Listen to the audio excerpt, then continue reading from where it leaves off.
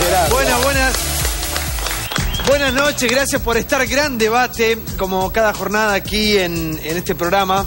Gracias por estar del otro lado. La verdad que vamos a discutir la Argentina que tenemos, la Argentina que vamos de alguna manera imaginando para el futuro. Digo imaginando porque estamos ya en, a pocos meses de las elecciones. Todos vamos a terminar yendo a votar y para eso un poco está este programa, para escuchar las diferentes posturas. Gracias por estar del otro lado. Antes de arrancar, tengo un consejo para vos, como todos los días.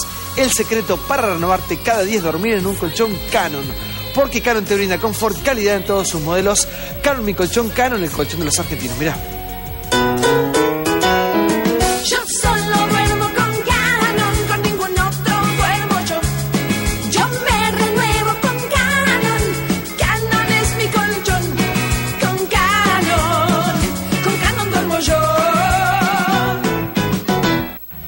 Las noches se te acalambran los pies o las piernas, llegó a la Argentina la solución. Arthrostop Calambres. El 70% de los adultos mayores de 50 siente calambres nocturnos de piernas, pantorrillas o pies. Habitualmente estos espasmos musculares se deben a la insuficiente ingesta de ciertos minerales y vitaminas. Arthrostop Calambres con extracto natural de banana, magnesio, calcio, potasio y vitamina E te brinda diariamente el complemento que necesitas para no sufrirlo. Se prepara como un rico jugo y vienen sobrecitos de bolsillo que podés comprar de a uno cada vez que los necesites. Acordate, para tus calambres, Arthrostop Calambres. Para calmar tu dolor, Arthrostop Té Caliente de venta exclusiva en farmacias. Pino, buenas noches, gracias por estar. Bueno, tenemos a la dama de las noticias, Mónica. Gracias. Buenas noches. Me encanta invitarme. Bueno, está Piumato, que es uno de los hombres más discutidos del momento, porque estuvo obviamente en la marcha ayer. Muchos dijeron, eh, está bien que hable, está muy bien. Otros dijeron, no, ¿por qué habló? Hicieron una marcha del silencio, ¿qué pasó con Piumato? Pero Piumato está acá, se sabe defender solo, así que vamos a hablar de todo con él. Una marcha, la verdad, que fue eh, a nivel de, de asistencia y concurrencia muy exitosa. Y hoy Liliana Franco me decía algo. Adelantámelo, por favor. Eh, la reacción en Casa de Gobierno fue a una reacción absolutamente defensiva. Eh, siguen pensando lo mismo, siguen pensando que quienes marcharon son quienes buscan afectar al gobierno, son la oposición y como que la lucha va a seguir. La lucha va a seguir, es la lucha contra del gobierno contra los sectores que se oponen. Miren lo que es la tapa de página 12 hoy, ¿no? Muy polémica, bajo el paraguas de la muerte. ¿La qué? Terrible. Terrible el título de Un poco feliz. la tapa de página 12, ¿no? Bueno, vamos a estar debatiendo todo esto y mucho más. Noche caliente tenemos por delante, pero antes, sí, eh, el viernes es el, mejor día de la semana. Disfrutar los viernes con tarjeta shopping y los ahorros que te ofrece para vos en los mejores comercios del país. Tarjeta shopping. Si todavía no la tenés, acércate a la sucursal más cercana y disfruta el verano con los mejores beneficios de tarjeta Shopping. Disfruta los viernes de ahorro con tarjeta shopping. 15% de descuento más cuotas sin interés y sin tope de reintegro. Consulta comercios adheridos a la promoción en www.tarjetashopping.com.ar o llamando al 0810-666-6744. Los viernes con tarjeta shopping, eso que querés cada vez más cerca. Sentí que te falta la energía, llegó a la Argentina Artrostop Energy Free, un poderoso concentrado energizante con ingredientes de origen natural que vienen en sobrecitos individuales y que te ayuda a sentirte como antes. Arthrostop Energy no es un medicamento. Se prepara en agua fría como un jugo y contiene vitaminas, calcio, minerales y extractos naturales de ginseng, ginkgo biloba y guaraná. Tómalo diariamente con tus comidas y vas a ver lo joven que te vas a sentir. Acordate. Para recuperar tu energía, Arthrostop Energy Frío y para calmar tu dolor, Arthrostop Té Caliente de venta exclusiva en farmacias. Atención al ranking de las 10 frases más fuertes del eh, 18F. Aquí está el informe, mira. La marcha tuvo lluvia, paraguas, banderas, enojos, ausencias y silencio. Sin embargo, nos dejó palabras. Estas son las 10 frases más fuertes después del 18F. Número 10, Mauricio Macri. La verdad que fue un momento muy lindo, mucha emoción, también había dolor, con toda esa lluvia y esos paraguas. Todos sentimos que éramos parte de, de un día histórico. Número 9, Sergio Massa. Creo que fue un paso muy positivo. Creo que es la demostración de que los signos vitales de la sociedad argentina están absolutamente vivos. Número 8, Jorge Capitanich. Hemos observado también expresiones fuertemente agresivas a la investidura de la presidenta de la Nación respecto al tema de la Procuradora General de la Nación. Quien quiere realmente promover la destitución de la Procuradora Alejandra Gil Carbó es el Grupo Clarín. No quieren una procuración eh, independiente o autónoma. Lo que quieren es precisamente manejar los fiscales manejar los jueces. Número 7, Patricia Bullrich. Golpe blando. No, duro en el cu por los 400.000 ciudadanos en la calle. Vayan pensando de qué se disfrazan. Número 6, Cintia García. Se especulaba con que iba a haber un millón de personas, o sea, como que el pueblo argentino se iba a manifestar en la calle ah, con un grito de justicia por este gobierno autoritario. 200.000, 300.000, con la cantidad de porteños que votan a Macri, se, se, se- se junta esa gente, ¿no? Número 5, Jorge Lanata. Cristina es la responsable política de la muerte de Nisman. Ayer cientos de miles de personas pedían justicia, pedían más Campagnoli y menos Ollarvide, pedían que pase algo con Vudú, que pase algo con Cristina. La gente le decía que no a la impunidad. Número 4, Aníbal Fernández. Es una lisa y llanamente una marcha política opositora. Yo quiero recordarles que la Administración de Justicia corre por parte de los jueces. Hay jueces y juezas que son excepcionales. Hay una buena parte que trabajan hasta las 13.30, no pagan impuesto a las ganancias, tienen 45 días de vacaciones. Cada uno deberá tener que tomar la parte que le corresponde. Número 3, Marcelo Longobardi. Las marchas han significado eh, para el gobierno una ratificación, una prueba eh, elocuente y contundente de que el gobierno tiene razón. Cuando Cristina pone la tele y ve la marcha, lo que ve no es una marcha, es una conspiración. Todo lo que ella ve es un golpe. Y esto es una fotografía perfecta de la Argentina de hoy. El silencio y la sordera. Número 2, Laura Alonso. Ayer la gente dijo que no hay más cheques en blanco para nadie. Yo soy de las personas que creen que hay que poner en estudio la posibilidad de un pedido de juicio político contra la Presidente. Número 1, Eve de Bonafini. Bajo los paraguas había mucha agresividad, esa gente que, que no quiere que le toquen el bolsillo, que no quiere que los chicos pobres estudien, que todos los negros son malos y son ladrones. Bueno, esa es la gente que fue a la marcha. Y por eso no había juventud. Andaban buscando un joven con una linterna a ver si lo encontraban. Caemos en estas frases increíbles. Sí, Mónica, buenas noches. ¿Qué tal? Bueno, Bueno, ¿querés que me refiera a las frases, a la marcha, a las sí, ¿qué frases? te dejó la marcha vos, no? No, la marcha, la evaluación que hago de la marcha es que convocó mucha gente, que la gente fue en paz, que cada uno fue con su propia consigna interior, que no hubo oportunidad para los oportunistas, que si alguien quiso aprovechar no pudo, después tuvo, por lo menos no en ese escenario, que si hubo alguna agresividad, como dice Capitanich, contra la presidenta, yo no la vi en ninguna pantalla. Puede que haya alguno que haya dicho algo. La verdad, no se vio, no los, los periodistas no lo registraron. Y además no hubo golpe. Y además estamos en el día después y hay que decir que el gobierno de Cristina Fernández de Kirchner va a tener que gobernar hasta el 10 de diciembre del 2015. Porque eso es lo que dispone la Constitución. Es para ella un derecho y es también una obligación. Quiero- no hay quiero- un golpe, sí. no creo que haya gente que quiera golpe. Creo que mucha de la gente que fue ayer seguramente quiere que este gobierno termine, que termine en algún momento, pero creo que la inmensa mayoría de la gente que estuvo allí quiere ser escuchada por este gobierno, tenida en cuenta a la hora de tomar las decisiones, no tiene una idea de la democracia delegativa que un día votás y das un cheque en blanco hasta el día que termine ese gobierno. Es probable que, que por lo que estamos viendo, eh, esto no quiera ser escuchado, lo cual no quiere decir que esa gente esté dispuesta a aceptar que este gobierno se vaya antes por ningún motivo. Muy por el contrario, creo que lo que se está pidiendo es que llegue hasta el final porque es lo saludable para todos. Y me parece que ayer eso quedó refrendado. Sí, igual quiero qui- quiero reparar en la frase de Eve de Bonafini, la última, porque no puedo creer que una persona como ella repare en la edad de la gente que estaba en la marcha. Pero si era más grande o más chica, no lo puedo creer. Eso, Santi, no es lo un, puedo creer. un mandato que se bajó hoy de Casa Rosada. Pero ella no lo de- puede decir. Eso es así. Eh, eso es así. El, el mandato que se bajó hoy de Casa Rosada es, es muy parecido a lo que decía Liliana. Es salir. Pero que una señora grande no tiene poder de para Bonafini- expresarse, para manifestarse. Eve Bonafini, por supuesto, que es independiente, no es vocera necesariamente del gobierno, ¿Pero, pero. qué edad tiene Eve? ¿Tiene Eve 21? No, bueno, 80, entonces... Eve tiene más de 80. ¿Y qué, de qué Pero estamos hablando? El mensaje que bajó el gobierno es este: salir a confrontar, recuperar. No puedes confrontar con la edad de la gente que Pero fue a la marcha. lógico, Santiago. A ver, No estoy. puedes. estoy Era bueno, mentira, pará, Santiago. perdóname. No importa si es verdad o mentira, son personas, seres Santi, humanos. Estoy, sí. perdón, Estoy 100% de acuerdo con vos. Yo te estoy explicando cuál es el mandato del gobierno. Es salir a recuperar la matriz amigo-enemigo.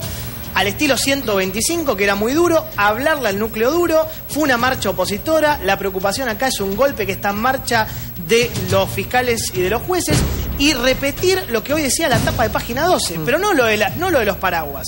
Abajo de los paraguas, Sí, la página 12, si, la- si le pueden poner hoy, hoy lo veíamos, dice miles de personas de una composición social similar a la de los cacerolazos. Sí. Como diciendo, es gente de clase media urbana, de la capital federal, no son nuestros, antiperonistas, claro. no son nuestros, exactamente. Claro, no, son nuestros, no son parte, perdón, no son parte de los 40 millones de argentinos. No, son otros. No, no, son parte, pero no es nuestro núcleo duro, no nos interesa. Sí, a ver. Bueno, hagamos una cosa, muchachos. A partir de hoy, eh, que la oposición y los periodistas que no están de acuerdo con el gobierno manejen lo que se puede decir y lo que no se puede decir y cómo hay que decir las cosas.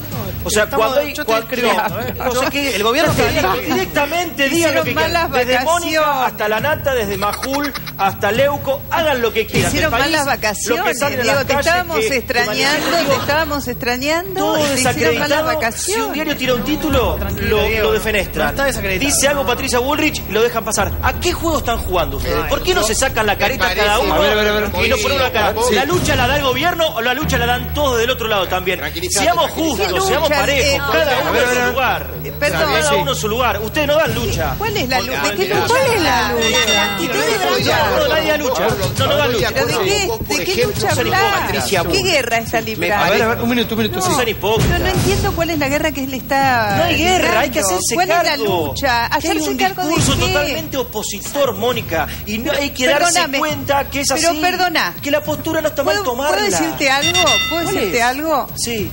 Es lógico que en una sociedad democrática haya oficialismo y haya Por oposición. supuesto, y y pero, por, entonces- pero ¿por qué se quejan de eso? Recién Liliana tiró como un título, en Casa Rosada dicen que van a establecer lucha. Claro que van a luchar por un país mejor y porque la gente los vuelva a elegir. Eh. Obvio que van a luchar por eso. ¿Qué van a hacer? ¿Van a quedar de brazos cruzados? No, Liliana. No, Por la supuesto lectura no. en Casa Van a- Rosada- Van a discutir discursivamente, van a seguir A gestionando, van a seguir inaugurando. Y si la gente los quiere, lo va a votar. ¿Qué te asombra que van a dar lucha? Eh, si la oposición y los medios también dan A la lucha.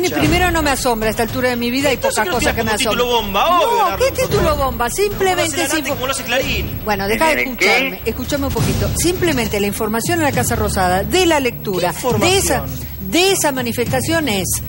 Vamos a seguir, sienten que va a venir una andanada muy fuerte de parte del Poder ¿Y te Judicial. parece que no hay, que no es, que no existe? Estoy diciendo lo que se dice. No estoy diciendo que es verdad o mentira. Estoy relatando que sienten que va a venir una andanada muy fuerte de la justicia y que están convencidos que en realidad hay muchos grupos, corporaciones que quieren desestabilizar este Claro, es lo que gobierno. está pasando, está Entonces, lo que están decididos es a dar pelea para defender. A ver, eh, yo voy con Pino, yo voy con Pino. Sí, eh, quiero reparar en esta frase de Eve, que era la que abrió un poco el debate, porque Eve habla desde un lugar, pero repara en la edad de la gente de que supuestamente estaba en la marcha. A ver, mira. Número uno, Eve de Bonafini. Bajo los paraguas había mucha agresividad, esa gente que, que no quiere que le toquen el bolsillo, que no quiere que los chicos pobres estudien, que todos los negros son malos y son ladrones. Bueno, esa es la gente que fue a la marcha. Y por eso no había juventud. Andaban buscando un joven con una linterna a ver si lo encontraban. Sí, a ver, a ver, a ver. Un pi- Pino. no, yo creo que Sí. estas declaraciones de, de Eve son de absolutamente sesgadas y de un sectarismo, creo que no se ve la realidad.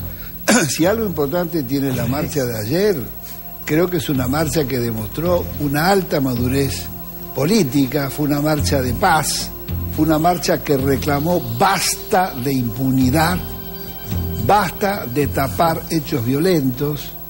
Es una, mar- es una marcha que de, de una enorme madurez política y había de todo. No se puede seguir viendo el país en categorías de blanco-negro. La política es gris, la vida es gris y esta es gris oscura, la de esta Argentina. La de ayer es una marcha que reclamó claridad, que reclamó una investigación en serio sobre el asesinato de, de Nisma y reclamó, la verdad, este, abrir de una vez, por- acabar de una vez por todas con esta impunidad, una causa de la AMIA que tiene 21 años y todavía no sabemos lo que pasó. Eh, la tenemos a Claudia Neira. ¿Cómo andas, Claudia? Buenas noches. Bueno, ¿qué dejó la marcha para, para vos? Mira, a mí me parece que desgraciadamente dejó poco. Y dejó poco porque... Y, y la verdad es que me gustaría reflexionar sobre esto, porque si no tiramos frases, pero Me parece que hace falta un momento de reflexión. A mí me parece que dejó poco porque estamos en una marcha, como ha sucedido a lo largo de la historia de la Argentina, que detrás de postulados que todos compartimos, la, la defensa de la República, de la verdad, de la justicia, eh, luchar contra la impunidad, en realidad lo que se hace es montar un sinnúmero de expectativas que no logran tener un concepto. Hay una ambigüedad y una vaguedad tal que permiten reunir un montón de personas que yo dudo que todas tengan los mismos conceptos. Yo realmente quiero dudar que eh, Ple o, Romero Victorica, que han defendido eh, públicamente, eh, institucionalmente, que no se puedan perseguir y que sean prescriptibles los delitos de lesa humanidad, no comparten su concepto de verdad o su concepto de justicia con Pino, con Piumato o con otros. Entonces realmente creo que hay un nivel de abstracción tan grande en los conceptos que hoy no nos permite, y esto digo, la verdad es que lo digo desde un lugar, eh, desde, un, desde una eh, perspectiva estrictamente democrática. Yo creo que nosotros como oficialismo necesitamos una oposición. Ahora, esa oposición necesitamos que se pare conceptualmente en un lugar y que podamos discutir, porque cuando el kirchnerismo discute eh, un modelo de justicia, todos sabemos cuál es el modelo de justicia. el modelo de democracia, todos No, no, saben. ¿de dónde lo conocemos? Podés estar de acuerdo o podés no estarlo. Sí. Pero Está tenemos un modelo de justicia donde las escucha más. Sin chicanearnos, digo, me poder debatir maduramente, digo, sin chicanearnos y poder discutir, porque realmente no, me parece que esté mal que pensemos distinto. Lo que está mal es que no podamos decir las cosas como son. Esta fue una marcha opositora. Hoy eh, Laura Alonso habló de evaluar un pedido de juicio político a la presidenta.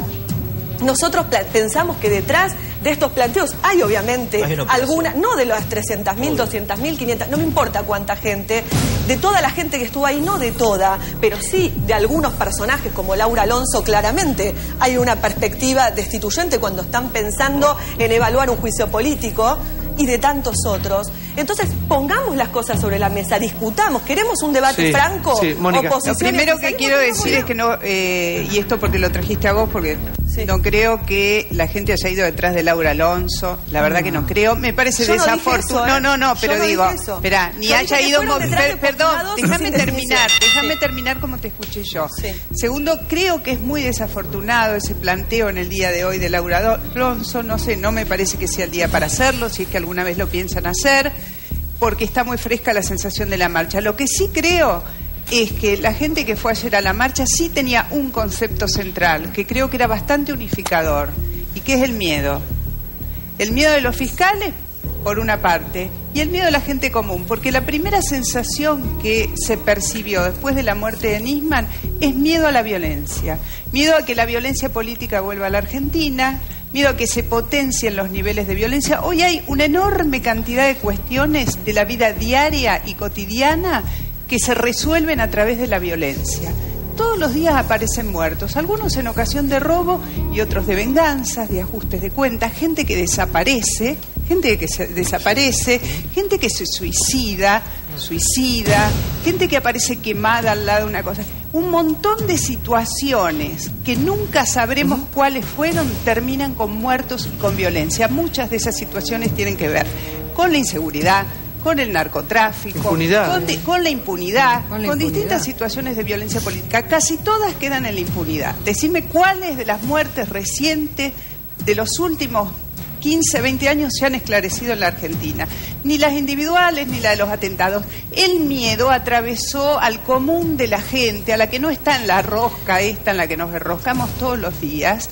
Tiene miedo, tiene temor, quiere vivir alejada de los parámetros de la muerte para resolver todas las cuestiones y sale a la calle a decir que esto le preocupa. Pero fíjate que Ahora, eso- lo- sí. ¿quién lo- ¿a quién Sí. se lo dice? Se lo dice al oficialismo, seguramente Sí, a la oposición, se lo dice a los legisladores. ¿Lo queremos escuchar o vamos a convertir esto en un tema de un golpismo que avanza? Pero quiero la combinación, se tiene que ir, sí, por favor, Pino. No, pero eh, yo recién escuchaba la falta que presuntamente hay una falta de voluntad de debate.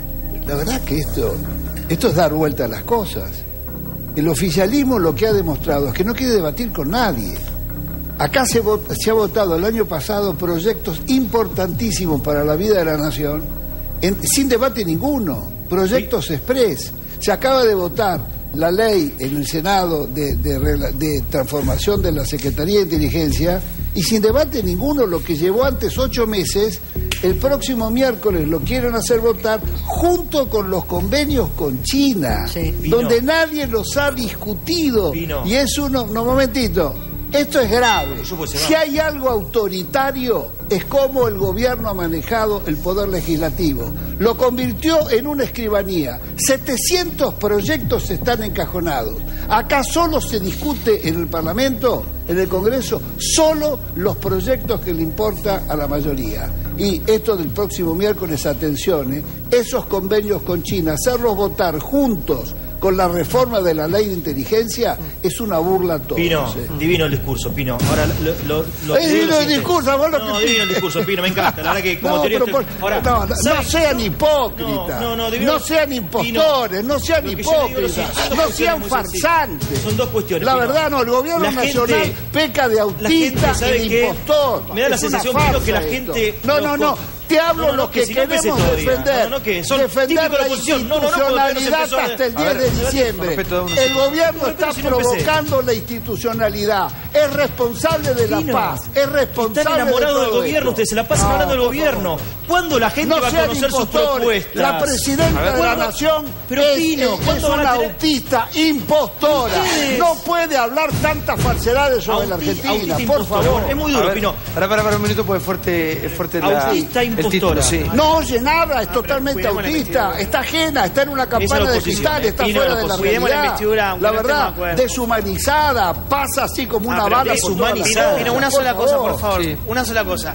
Eh, con, con todas las diferencias que uno puede tener con el kirchnerismo, lo que yo pido es, con, con respeto, como se hizo ayer en la marcha, tratar de autista a la presidenta, para mí, para mí no, para mí no va, con todo el respeto que te tengo, Pino. Lo voy a ¿eh? reiterar, Bueno, de un pero- autismo político No, está bien. Pero una cosa es un autismo favor. político, otra cosa es decir la autista a la Estamos presidenta. hablando de yo política, Creo, yo- estamos hablando Pino, de política Pino, y de ya discurso lo ente- político. Pino, ya te entendí. Haber Pero- pasado un mes Pino. sin tener dos o tres palabras humanas con respecto a la muerte del fiscal Nisman, la verdad, es un fiscal de la nación, pensemos lo que pensemos de él. Acá hay que defender cualquier asesinato de un funcionario público, piense lo que piense. Si defendemos derechos humanos y defendemos la democracia, todos unidos en la marcha de ayer. ¿eh? Atención. Perdón, decir- ver, una, cosita porque sí. quería completar. To- Totalmente de acuerdo con el concepto político. Yo lo que quiero es simplemente cuidar la investidura, no presidencial, de todos, por, por una cuestión de que estamos en democracia y hacerlo con respeto. Sí concuerdo con vos que es un gobierno que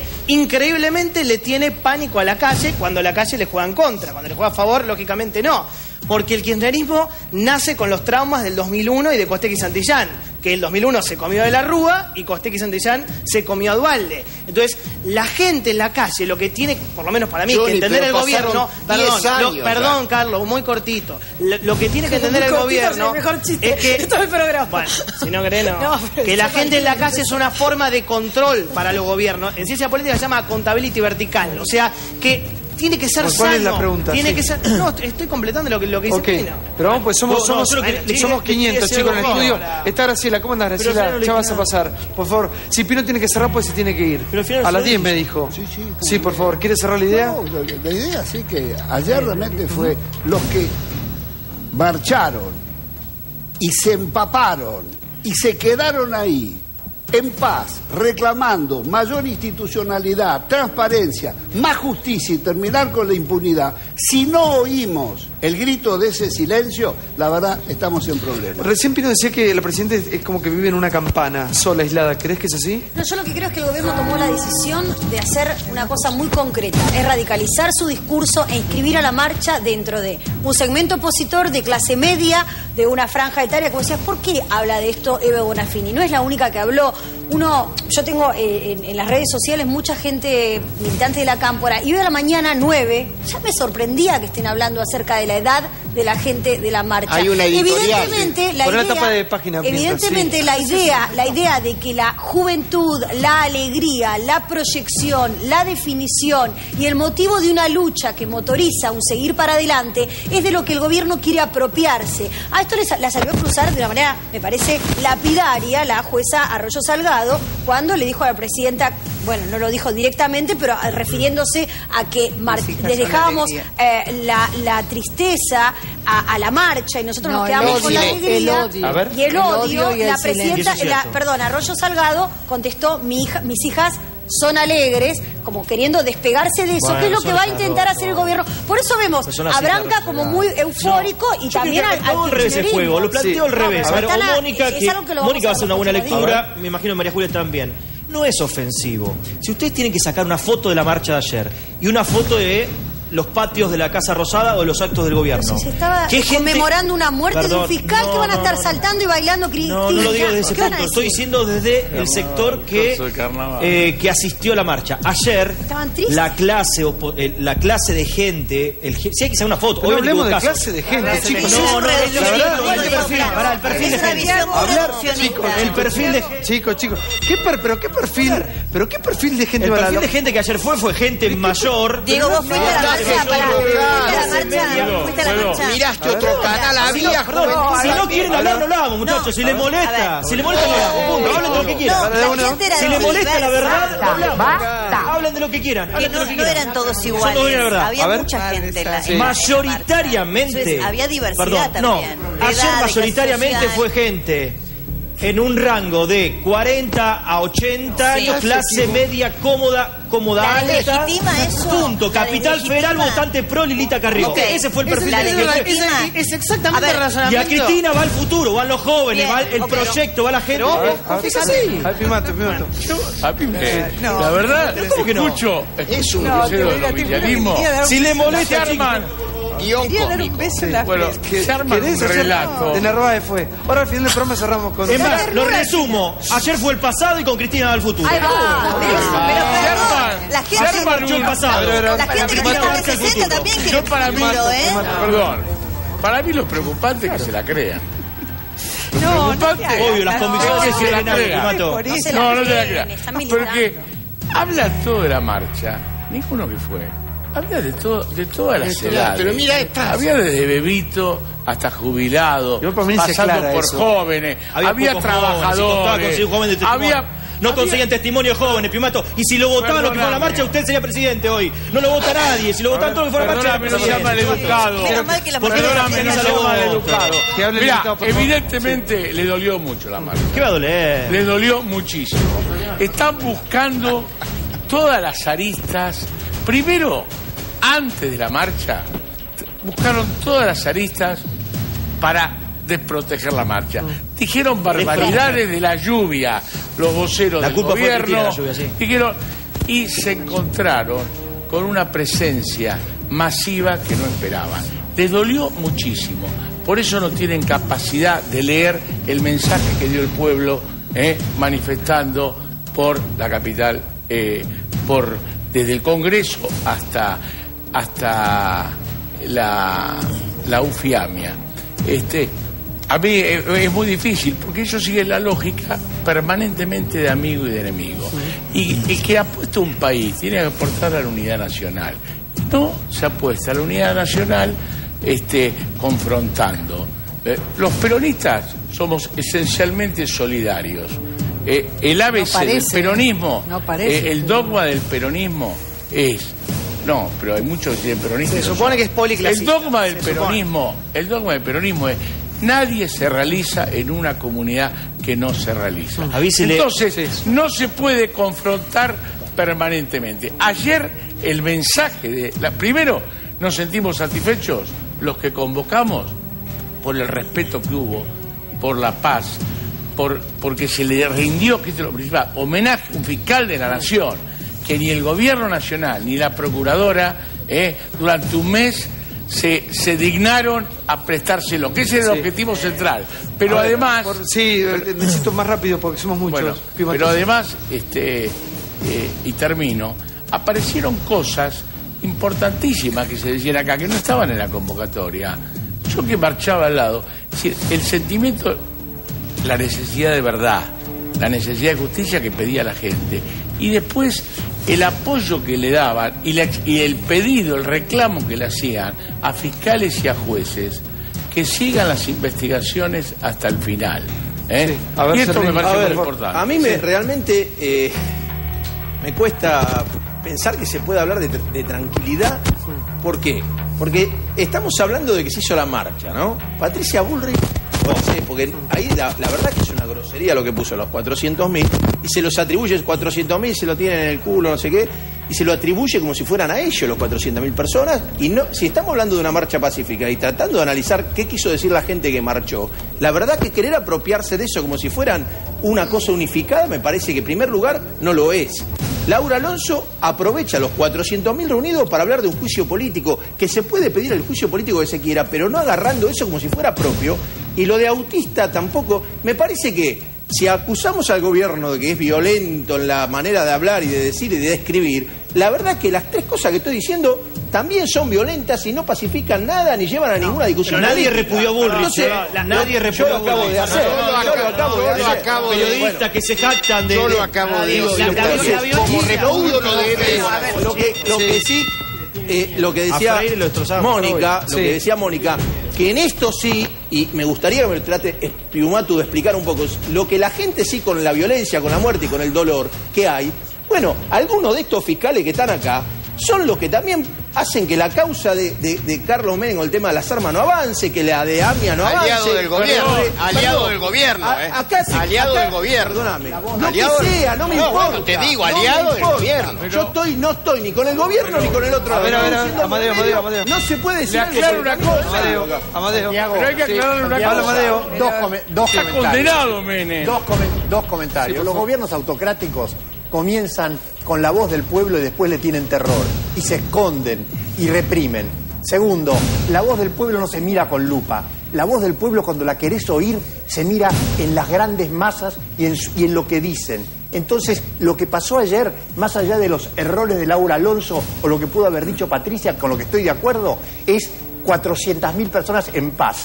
Mientras Bernie hablaba de que iba a haber violencia, mientras la presidenta habla de ustedes y nosotros, mientras ustedes dividen la sociedad entre jóvenes, viejos, capital Pero y y provincia. ustedes en el y de hecho no perdóname. déjame terminar de hablar. No, y de hecho no ustedes fuiste, y nosotros y en de el culo, no meterse fuiste. en el culo, ¿qué quiere Mientras decir? ustedes dividen la sociedad de a pedacitos, había cientos de miles de personas acá y en todo el país que tenían un mensaje muy simple. Queremos justicia, no queremos impunidad y sobre todo queremos que no se escuchen los autócratas. Cuando la voz del pueblo no les gusta, se encierran ver, sobre yo le sí estoy mismos, diciendo no, que no estoy de acuerdo ni con una ni cosa con la otra, pero usted dice que uno es un error si le dice que se meta a 400.000 personas. Ahí No, es un error importa, no y el otro es una agresión. Es un Sí, las dos son Ahora que cosas tengo que pedir a agresivas. Piño, por favor, Sí, lo quiero escuchar, pues tiene que ir a las 10, me dijo. No, querido, yo reafirmo lo que estoy diciendo. por favor. Se queda un rato más. un gobierno absolutamente autista y el responsable del gobierno es la presidenta de la nación. Es una locomotora que va para allá y el país va para otro lado. Si eso no se siente y no se ve, estamos en problemas. ¿eh? La responsabilidad de mantener la institucionalidad en este año bisagra de cambio y, una- y es un año que hay todos los meses hay elecciones, es responsabilidad suprema del gobierno. También de la oposición no provocar la inestabilidad. Pero esa paz se vio ayer. ¿eh? Yo le, saco diez veces el sombrero. Los que nos empapamos ayer de todas las condiciones. Había gente de todas las condiciones sociales, de todas las edades, y estaba reclamando verdad, justicia, que se escarezca esta muerte, basta de impunidad. Pino, gracias por venir. Muchas venga gracias, que lo querido. acompaño. Muchas gracias. Venga, venga, venga, venga. Venga que recibo a Graciela Ocaña. ¿Cómo andas, Graciela? ¿Bien? Vení. Pon pon la placa de protección a los menores y la saludo a Ocaña. Vení. Portemio, ¿cómo andás? ¿Bien?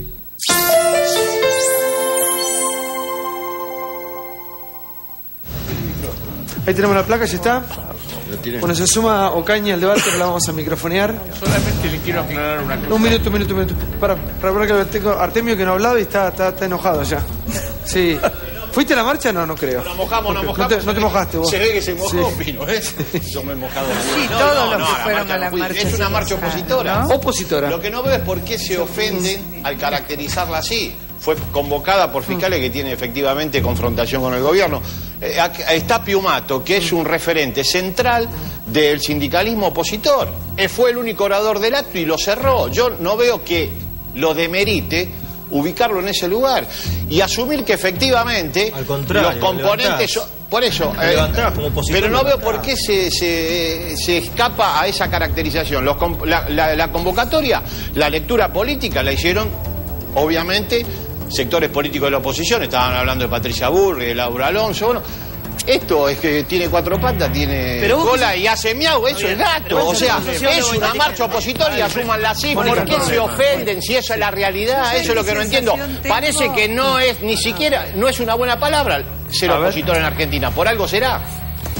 Eh, Uh, eso yo lo tengo la siguiente eh, sensación. eh, Pino hablaba de autismo. Yo no, yo preferiría pensar de que hay una decisión tomada ya del gobierno y muy especialmente del, de- del, del poder del gobierno que lo ejerce Cristina, de eh, y que se hizo muy explícita cuando ella habló de ellos y nosotros. De este lado queda eh, la alegría, la bla bla bla bla bla, y del otro lado queda el silencio. A partir de ese momento yo entendí que la presidenta y su gobierno estaba diciéndole a la sociedad que a partir de aquí la estrategia es esta, es de confrontación, de marcar la cancha, oficializó eso que esa palabra odiosa que inventó ¿Y la nata, que la, la oficializó a la ¿Hay un solo grieta. equipo en la cancha o y- salieron los dos perdón, a jugar? No, no, ¿Hay un se equipo? oficializó de palabra la grieta, entonces a partir de ahí cualquier debate cae en saco roto, porque con él nos podemos pasar hablando 20 días y él siempre va a estar ahí.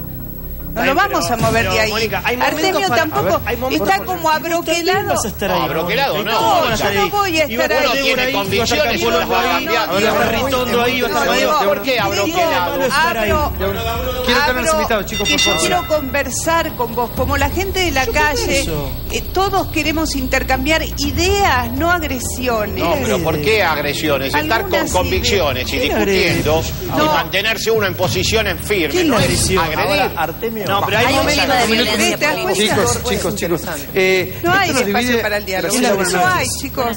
Esto nos divide un poco más Ay. lo que pasó ayer. A mí me parece que ayer lo que pasó es que las, una sociedad o muchos ciudadanos rindieron homenaje a un fiscal que murió haciendo, eh, cumpliendo su deber, que es investigar y denunciar, porque nadie puede negar, más allá de que a más de un mes no sabemos qué le pasó, Nada. qué pasó ese departa- en ese departamento con el doctor Nisman, sí sabemos que la denuncia fue una consecuencia natural de su muerte. La causa. ¿eh? la causa de su muerte. Entonces, me parece que eh, el silencio general, que a mí me impresionó mucho, me hizo acordar a otras, otros momentos de la Argentina, donde al final de la dictadura, vos eras muy joven, Sí. eh, y a- al comienzo de la democracia, muchos argentinos se manifestaban así, en paz, sin Espontáneamente. romper absolutamente nada, sin que hubiera ningún tipo de inconveniente. Y ese silencio que había sido reclamado por los familiares y por los fiscales convocantes, solo era interrumpido por dos frases. Argentina y la otra era justicia. Y me parece que como al comienzo de la democracia se reclamaba justicia para terminar con las violaciones de los derechos humanos, para terminar con las graves consecuencias de la dictadura, ahora eh, la justicia se pedía para terminar con la impunidad en la Argentina. Y creo que eso, yo tomo esto, a mí la verdad, no creo que eh, si es opositora, si no es opositora, fue la marcha de millones de argentinos bien. que dijeron y pidieron y rindieron homenaje. Muy bien. Vamos a ver qué decía Víctor Hugo. Se suma Ritondo también. Ahora voy con vos, Ritondo, que nos ha hablado todavía eh, en esta noche de debate para ver qué pasa hoy, 19F, el día después. Víctor Hugo versus la marcha. Mirá. A pesar de no tener programa diario, Víctor Hugo se las ingenia para seguir dando sus polémicas opiniones. Controvertida lectura de la marcha. De ninguna manera puede haber sorpresa con lo que ocurrió ayer, potenciados por la más eh, diabólica campaña de prensa que tiene que ver con Mañeto y con el grupo Clarín, con esta posibilidad tan hipócrita, tan, tan cínica para mí de buscar demostrar que se trata de eh, un asesinato sin tener nada que los acompañe. No veo por qué tanta sorpresa de que fuera muchísima gente. Yo pienso que la ciudad de Buenos Aires debe tener mínimamente un millón de personas que estaban de acuerdo eh, con lo que eh, eran los presuntos reclamos del día de ayer. No entiendo por qué se envalentonan de esa manera sobre la base de una cifra que estaba perfectamente dentro de lo previsible y que fue menor solo por la lluvia. Ellos se sorprenden del poder que pueden tener para generar todo este acto tan hipócrita en el cual la gente va a pedir justicia para un hombre que se ha suicidado desde mi punto de vista, la gente que fue ayer necesita tener razón, necesita que haya un crimen y no quiere escuchar razones, pero también necesitan que sea eh, un crimen aquellas personas que ante un suicidio serían interpeladas. Estamos hablando del terreno de los afectos, estamos hablando del terreno de la política que le sacó el jugo de una manera tan grosera a ese pobre hombre desesperado que era Nisman. Vi a esos fiscales que tienen el perfil moral de Mañeto, porque los fiscales parecían unos chantas, unos pobrecitos, escuchando la palabra justicia a su alrededor, escuchada en medio de lo que ellos saben de sí mismos, de lo que han hecho, de lo que son, al núcleo duro del kirchnerismo, difícilmente esto le llega. Ha pasado por muchas pruebas como para que algo tan insensato, tan mentido, tan hipócrita, tan cínico, eh, le pueda jugar en contra. Bueno, él habla de suicidio y de acto hipócrita, Mónica. No sé, Perdón, cada uno tiene derecho a pensar lo que quiera.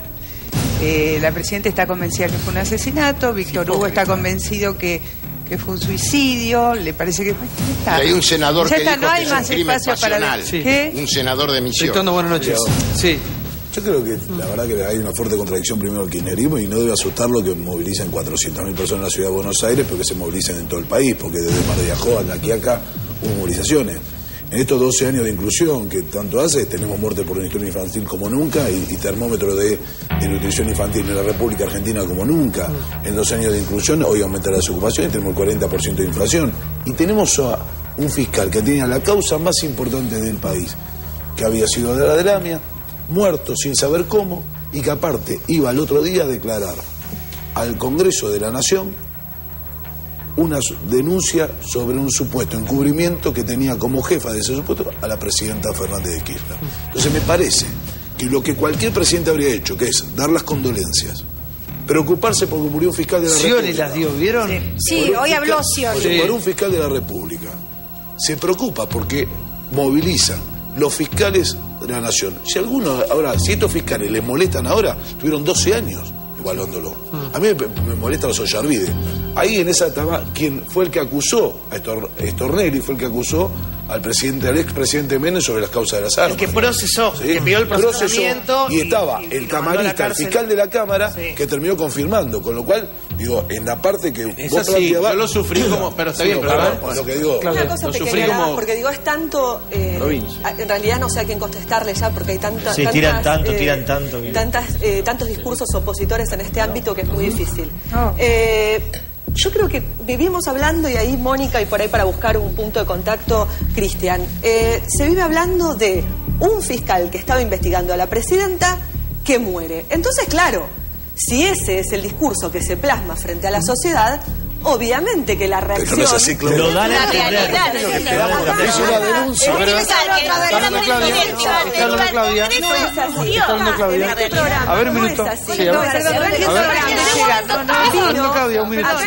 Déjame escuchar porque no entendía dónde quisiste llegar. Acá en este programa estuvo el fiscal Luis María eh, Moreno Campo y él planteó, y me pareció muy interesante, discutir esta cronología. En realidad hay un dato que se agrega, que es que en realidad lo que hubo fue un desplazamiento muy importante en la CIDE de autoridades, incluyendo a Estiuso, acto seguido e intempestivamente una denuncia a la presidenta, una denuncia a la presidenta que hasta el día de la muerte de Nisman, hasta el día de la muerte de Nisman, nadie le dio ningún crédito. Estiuso. Y la muerte de Nisman que le empezó casualmente a dar crédito a la, a la denuncia que hasta el momento de la muerte de Nisman no tenía ningún crédito. Entonces, no, yo me pregunto. Eso me no parece- es- A ver, Eso es un relato, el dos años gobierno- antes estaba investigando. El gobierno Eso no nacional, el no. gobierno nacional necesitaba un fiscal como Nisman que acababa Pero, de acusarlo no, y que nadie daba crédito de su A ver, denuncia. Mónica, por favor. No entiendo, la verdad sí, no, continuamos. no entiendo. Eso no es la verdad que no discutiendo. entiendo el muy crédito bien, se lo dio perdón. otro fiscal que es policía. Perdón, Eso no es lo Porque que- esa es la institucionalidad que ustedes está, ignoraban cuando decían... Eso no es lo que están discutiendo. Porque Chicos, eso chicos, es lo que chicos, ustedes va a no la le señora dijeron a la Mónica. gente. A ver, No entiendo muy bien a qué quiere llegar tu razonamiento, te lo digo con todo respeto. ¿eh? Eh, a ver, eh, en diciembre la Presidenta de la Nación tomó decisiones muy drásticas. Corrió a la Muy cúpula de la, de la Secretaría de. Inteligencia, ¿Por- perdón. ¿Por qué la palabra drástica? Drástica no, no, no es valorativa. Drástica es que es, de- que es fuerte, que es, que es Muy cortante. fuerte, sí. Agarrá el diccionario y fíjate qué quiere decir drástico. No estoy diciendo una mala decisión, estoy diciendo drástica. Desplazó a la cúpula de la Secretaría de Inteligencia y a los dos o tres días desplazó al jefe de operaciones, ¿sí? Perfecto, nos fuimos a vacaciones o seguimos trabajando. En la mitad de enero aparece una denuncia de un fiscal. Atrás de ese fiscal se sabe que trabajaba este, este jefe de inteligencia porque los puso en contacto Néstor Kirchner hace 10 años y desde entonces estaban trabajando juntos. Esto es público, notorio y oficial. Y a los cuatro días aparece muerto el fiscal. Un día antes de ir al Congreso, ¿ok? Hasta ahí bien. Al día siguiente la Presidente habla de un suicidio. Al No otro habla de día, suicidio. sí, sí, Las dice la decisión, pregunta, la los signos de pregunta no hablan de un suicidio, Mónica. Eso es una tergiversación que han hecho ustedes. La carta decía suicidio entre Es que no signos de pregunta, Eh. de interrogación. Perdón, perdón, Cuando ¿me uno dejas terminar la secuencia? Dijeron, ¿cómo es que No, no. vino? ¿Por qué vino? La, secuencia de. Primero hay una carta en Facebook donde hablan de la, privada decisión de quitarse, la, vida. Eso es lo que dice la carta de la. Presidenta y avanza sobre llegó. eso. Suicidio, Al día siguiente, suicidio, perdón. Ese no es- Eso no es lo que está en discusión. A ver, quiero que termine de hablar la señora. Por favor. Al día siguiente, la Presidente, en una carta, es la Presidente de la Nación, baja la hipótesis en su Facebook de que fue un asesinato y lo inscribe en el contexto de una suerte de, no lo dice con estas palabras, de diferencias con el agente de inteligencia o los- las internas de inteligencia. ¿Dice o no dice esto la. Presidenta en la carta? Centremos en el hecho y no lo que dijo la No. presidenta, pero eh, nos ¿Cómo quedamos Dice esto y todos le empezaron pero- a pegar a Sí, este entonces, todos perdón, la perdón. No estamos asumiendo ahí. Primero la Gomarcina y después estamos Etiuso, la asumiendo Nadia, ahí. la sí. Es lo que diga la A ver. Mónica. No, es lo que digo, no se puede, a ver, no, no se puede hacer ningún análisis porque cada uno está atrincherado de un lado. ya está. Eh, No hay posibilidad de debatir es- nada. es cierto Estamos siguiendo no, un razonamiento ¿No te gusta que alguien opine diferente? Porque ella opina ubica, diferente. no, la seguir ubica y, mu- y varios, y varios de sus funcionarios ubican la muerte de Nisman en una lucha muy fuerte entre los servicios de interna. inteligencia que le tiran un muerto al gobierno. ¿Sí o no? Es- ella- sí, es- lo que ¿Qué plantea- país lo, lo que es- plantea la Sí. Acá hay otra discusión. la Lo que plantea presidenta. sí o Chicos, no, necesito que los invitados, son No muchos, En el país en el que yo Sí. quisiera vivir y porque estoy trabajando, hubiera esperado que la presidenta, aparte de dar las condolencias, dejase funcionar los, toda la justicia desde el principio. Dejase funcionar, dejase que sus acompañantes no atacasen a la, justicia. La presidenta actuase de acuerdo a la ley y la constitución y no lo hizo. Entonces, lo que el otro día estaba en la calle era esta demanda de una presidenta que se cargue ella el dolor de la gente y la demanda de Y la en gente. su por país, justicia. ¿qué, qué rol justicia. cumpliría la oposición en su Ella país? tiene Que que se hubiera cargo. A ver, a ver, puesto en a su país, ¿qué rol ocuparía la disposición de la La oposición, justicia. la- el, el Digamos, lugar que tiene en la democracia. Un minuto, Madeo. que se hubiera puesto a disposición Así de la es, justicia, así porque es. aunque fuera injusta, ella tenía el derecho de defenderse, pero también a ponerse a disposición Así es. y exigir una investigación independiente. Esto es sacar a las fuerzas federales, que aquí tiene una responsabilidad, por lo menos política, porque tenían a su cargo la seguridad de un fiscal que hoy está muerto. Así es. Ahora, Y perdón, yo agrego sí, algo. ¿puedo decir Por una favor, cosa? sí. Santiago. Yo para, para ir un poquito para adelante, ¿no? Sí, a, partir de lo que pasó ayer con la, con la marcha, con las 400.000 o 50.000 personas, como No, dice la 50.000 federal. no, tampoco La- 50.000. yo pero digo, la matriz amigo-enemigo muchas 400.000 veces... tampoco. La matriz amigo-enemigo le dio muchas veces resultado al gobierno. Es cierto que Kirchner supo, llegó con el 22% de los votos y supo construir poder eligiendo enemigos. Eso lo sabemos todos. Agarró el campo, agarró Clarín, agarró los militares. Ahora, hay momentos para generar esta, esta división ideológica que marcaba Mónica al principio, de nosotros le hablamos a nuestra gente, esto que hacía Eve Bonafini que a vos te llamaba tanto la atención.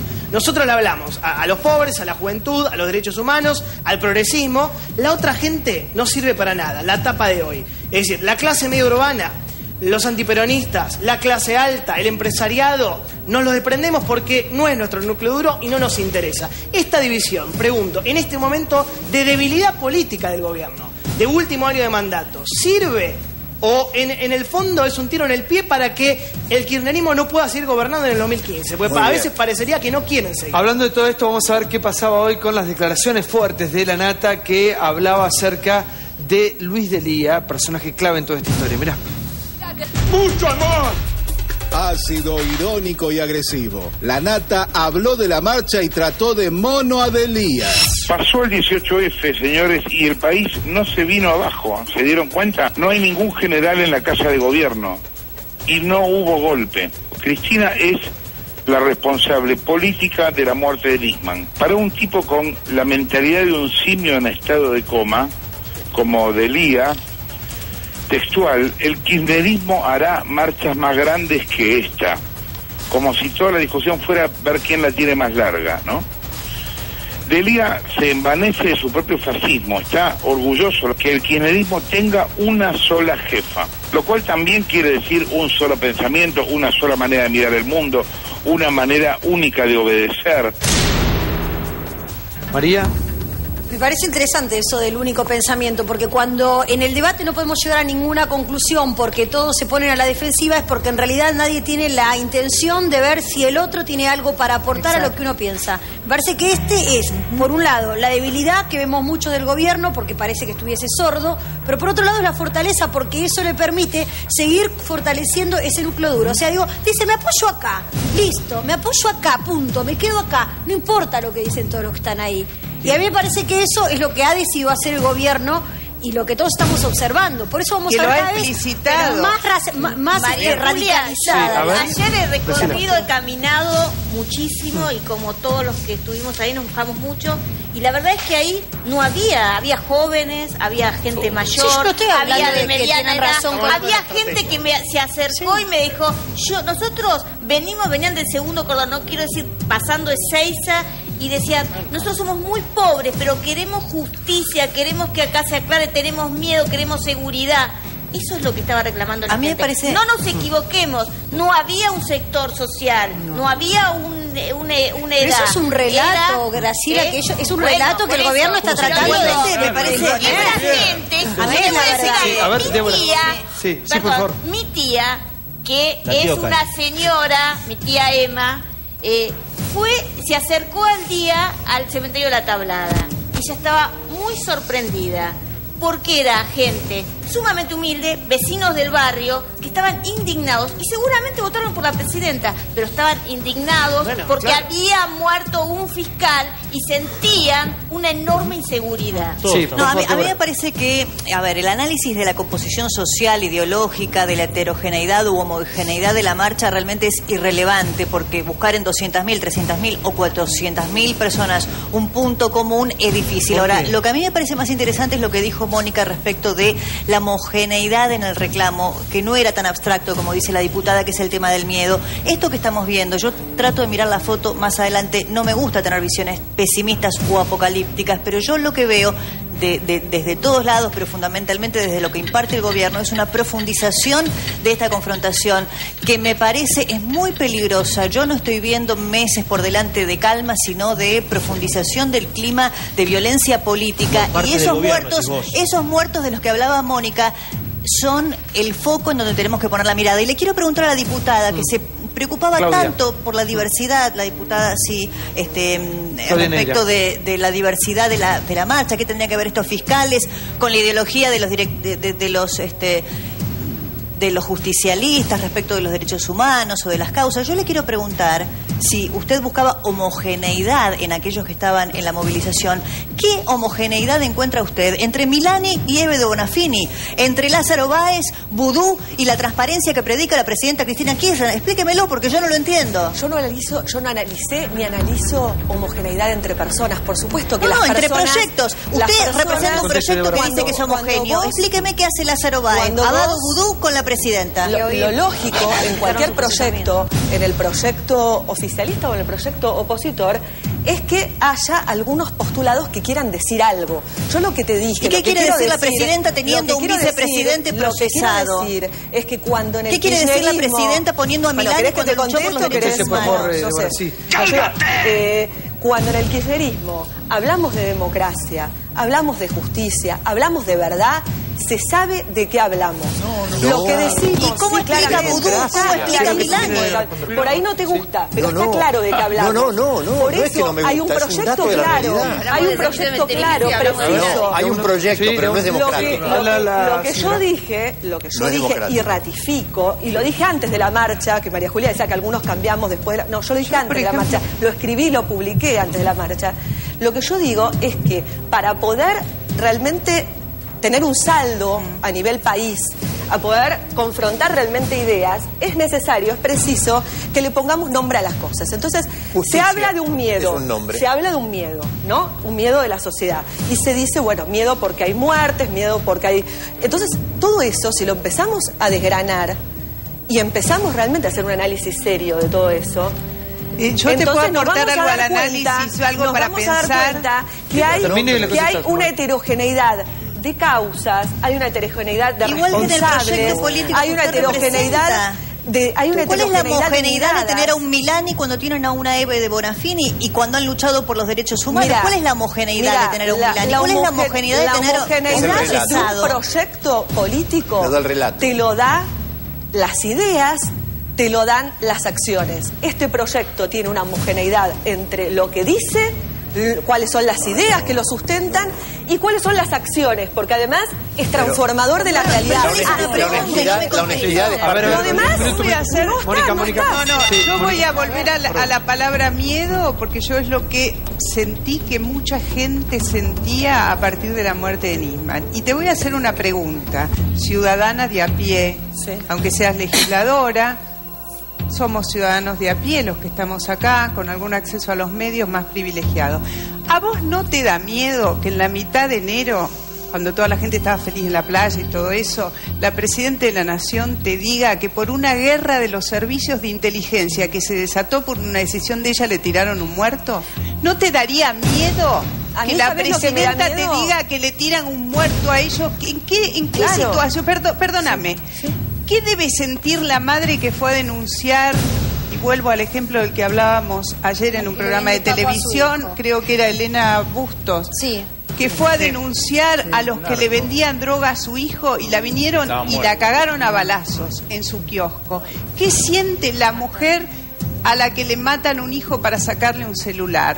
Si la presidente viene y dice que por una guerra entre los servicios de inteligencia que alimentamos todos, porque han vivido de nosotros, hasta diciembre le tiran un muerto a ella. ¿Qué sentís? ¿Sentís miedo? ¿Estás relajada? No, yo lo que ¿Seguís de vacaciones? ¿Qué yo es lo que que siento, yo lo que siento es que es una pena que como país nuestra oposición no podamos tener la seriedad, no podamos tener la honestidad de poder entender que hay una presidenta que se está poniendo al frente Diputada, de una la asignatura. honestidad es no ¿Puedo robar. terminar? La honestidad ¿Puedo es no terminar? robar. Puedo terminar de una asignatura pendiente de la democracia que atravesó a todos los gobiernos después, constitucionales de este país. a 12 años después, a todos. con miles de casos Los invito, los invito, los por ejemplo, yo me tomé estos Por días, favor, reflexioné diputada. bastante, traté de leer, estuve leyendo una lectura que no es... Pero no lee la es de- calle. no es, pero no eh, lee a la gente. No, lee el no, no, clamor de la leo- gente. leo a la gente No alcanza y con los libros. analizo Hay que oír al porque pueblo. no me gusta que me lleven del análisis. Hay que oír al pueblo. Estudio. Y trato de pensar, y no, no veo solamente, no escucho solamente a eh, personas que tienen un pensamiento afín. Yo estuve leyendo un libro que se llama Cide de Ian, que es un periodista de Clarín. Bueno, Está si lo leyeron, que seguramente todos lo leyeron, y si no leyeron se los recomiendo porque Yo lo tiene leí, algunas sí. cuestiones A ver qué- bastante... a ver qué dice. Sí, me parece, me el parece que la historia de los servicios de inteligencia de este país y, y la, la pugna que han dado los gobiernos constitucionales con idas y vueltas y con un personaje como Ostiuso al frente, 12 años al después, frente diputada. durante muchos años, 12 años después. durante muchos años, y con una presidenta que se pone al frente de ponerle freno y de salvar una asignatura de la democracia como Después se que lo puso esta presidenta, yo lo que le quiero decir a la gente, Después lo que lo le- usó lo que para hay que decirle a la gente Olivera. es que no tenga miedo, porque lo Hay que tiene a la gente que es la posibilidad de Vamos a ordenar esto, vamos a ordenar esto un poco. Cerramos todo, cerramos todo. Eh, Lilita Carrió afirmó que ella sabía que Nisman era hombre muerto. Seguimos tratando el caso, todo tiene que ver con todo. 18F el día después. Mirá. No quedó claro si Carrió fue o no a la marcha. Donde sí estuvo fue en los estudios de TN y tuvo un ataque de espiritualidad. No estuve en la marcha, estuve mirando la marcha que era del pueblo. Yo sentí Mateo 5 todo el día y cuando convoqué también. Benditos los que tienen hambre y sed de justicia porque serán saciados. Y en segundo lugar, benditos los pacientes porque heredarán la tierra. ¿Qué es perder el poder para ellos? Perder la impunidad. Esta situación está Milán y va preso por lesa humanidad o va preso si es el actor intelectual, si fuera el actor intelectual o uno de los actores intelectuales del crimen, ya crimen, les aseguro crimen. El periodista que se va a Israel es de la Mossad. Está claro que la Mossad está diciendo acá están haciendo un operativo. Está el periodista se va para no comprometer a los directivos del diario porque uno de los socios de ese diario es Capitanich. La persona que había imputado a todo un gobierno, que sabía que estaba muerto por los iraníes y le sacaban la fiscalía, no tenía custodia. Miren, para mí esta también fue una jugada de Aníbal Fernández para llevárselo puesto a Bernie. Porque Bernie no se entera de nada. Lo que sí sale es un maletín que no aparece. Yo no lo conozco a Estiuso y creo que es un criminal de vieja data. El que le dio todo el poder a este criminal es Kirchner, no la oposición. Niman iba a exponer ante el Parlamento como una forma de preservar su vida. Yo estuve acá en el último programa con Nisman, ¿me puedo dar un beso? Me dijo, ¿puedo salir muerto? Y yo sabía que era previsible, porque él era un hombre muerto cuando vino. Artemio, buenas noches. ¿No ya hablaste? Hablé, hablé, sí, poco. Poco, poco. Todos, somos muchos, sí. No, no, pero sigo insistiendo de que, bueno, ya acá en este estudio se observa que la utilización de la marcha para instalar discursos opositores que normalmente no tienen ninguna relevancia, eso es evidente. Acá mismo, Eduardo, tilda de autócrata a un gobierno elegido por el voto popular. A su La, conducta, la doctora, la, eh, eh, la doctora señala que efectivamente compara, la, Graciela Ocaña, compara la marcha de esta del 18F con las marchas que se hacían contra la dictadura y por este, la reivindicación de los derechos humanos. Un absurdo. Terrible. Cristian dice en medio de su discurso el 18F 40 puntos de eh, inflación. El instituto del gobierno de ustedes acaba de proyectar una inflación de 20 puntos. Actualizate. Crisis de empleo, no hay ninguna crisis de empleo, hay siete puntos y medio, siete puntos y medio de desempleo. No, la encuesta la hacen ustedes en el Instituto de la Ciudad. Sigue habiendo el mismo nivel de desempleo. Me parece que hay un abuso del discurso opositor que se monta sobre un hecho como es el de la marcha, que para mí es la, la vehiculización de estos discursos que si no no tienen relevancia y efectivamente le dan el cauce y el sentido político. A mí me parece que no es de meritar la marcha decir que es un canal de viabilización de discursos opositores que si no no tienen la más mínima relevancia. Sí, ¿Te acordás de- de- te Sí. acordás- Eh, Perón? había pedido la palabra por el tema de la CIDE. Es Hay que autor de Relato que- Salvaje. Que el libro de, de Tato Yan, digamos, eh, es un libro de los 90, o sea, que era bastante conocido, Sí. este, bastante antiguo. Se ve que no lo Leyó. El tema, el tema de la CIDE. Es una pena que no, No, que llega no, hasta Kirchner, no no lo, no conocieras. Eh, pero también muchos diputados y diputadas y senadores y senadoras trabajamos mucho tiempo exigiendo el control parlamentario de las fuerzas de seguridad. Por eso en el año 2001 se sancionó la ley de seguridad eh, que justamente establece el control parlamentario por primera vez sobre la CIDE. El problema es que mientras Cristina, que estaba en el Congreso y peleaba por estos temas y exigía que se constituyera la comisión, en los últimos cuatro años yo creo que se reunieron una vez al año, si es que se reunieron. En el año Santiago, le puedo 2001, contestar, Ahí está el problema de la En el año 2001 Le se- varias leyes sancionaron, no solo esa. Pato, ¿no, se, no, no sancionaron también la ley Banelco?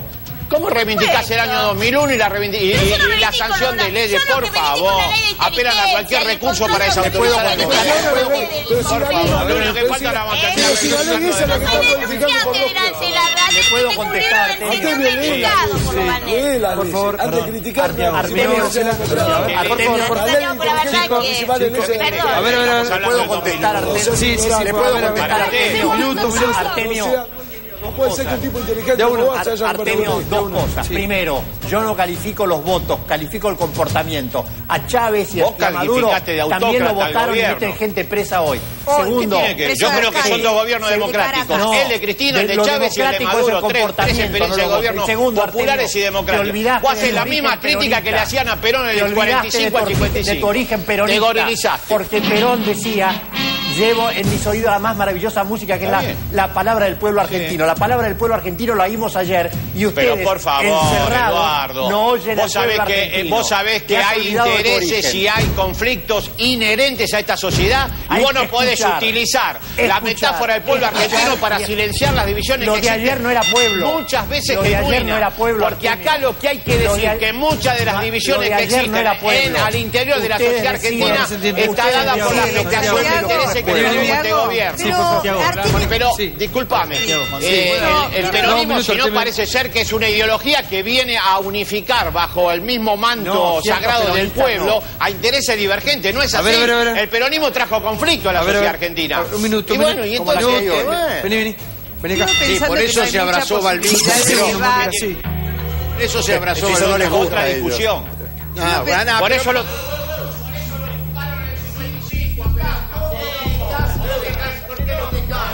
Yo me saco el saco, yo por la duda. Así no.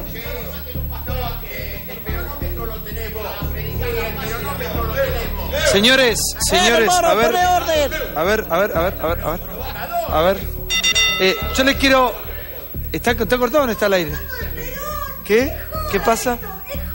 Joda, es. ¿Por qué? ¿De qué querés hablar? ¿De qué querés hablar? ¿De intrusos? ¿Cuál es el Por problema? favor, que- te es nuestra hablar de Perón. historia. Hay que Y aprender la la ¿Sabes historia. qué pasa, Carlos? Podríamos hablar por. Bueno, Hay que aprender después de historia, vamos a hablar María de Julia. Yo no lo traje el tema, lo no, trajo el no, señor no. Porque la tratan de comparar a Cristina con Perón. Pará, pará. Minuto, minuto. Minuto, minuto. Eh, vamos a tener que hablar de lo importante en un rato nada más, aparte de estos temas, es lo que ha pasado hoy con el vicepresidente de la Nación, eh, con Amado Vudú. Yo me remangué, estoy preparado. Lo que pasa que ¿Qué pasó, Santi? Necesitas energía de día, necesitas energía de noche. Para el día, Jenner Day y para la noche, Jenner Night es lo que necesito ahora.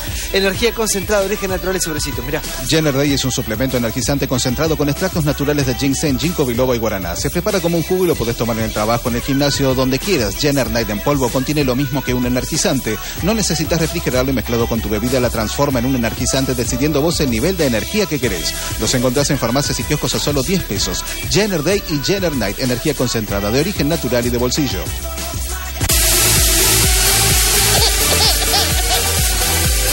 No hay derecho.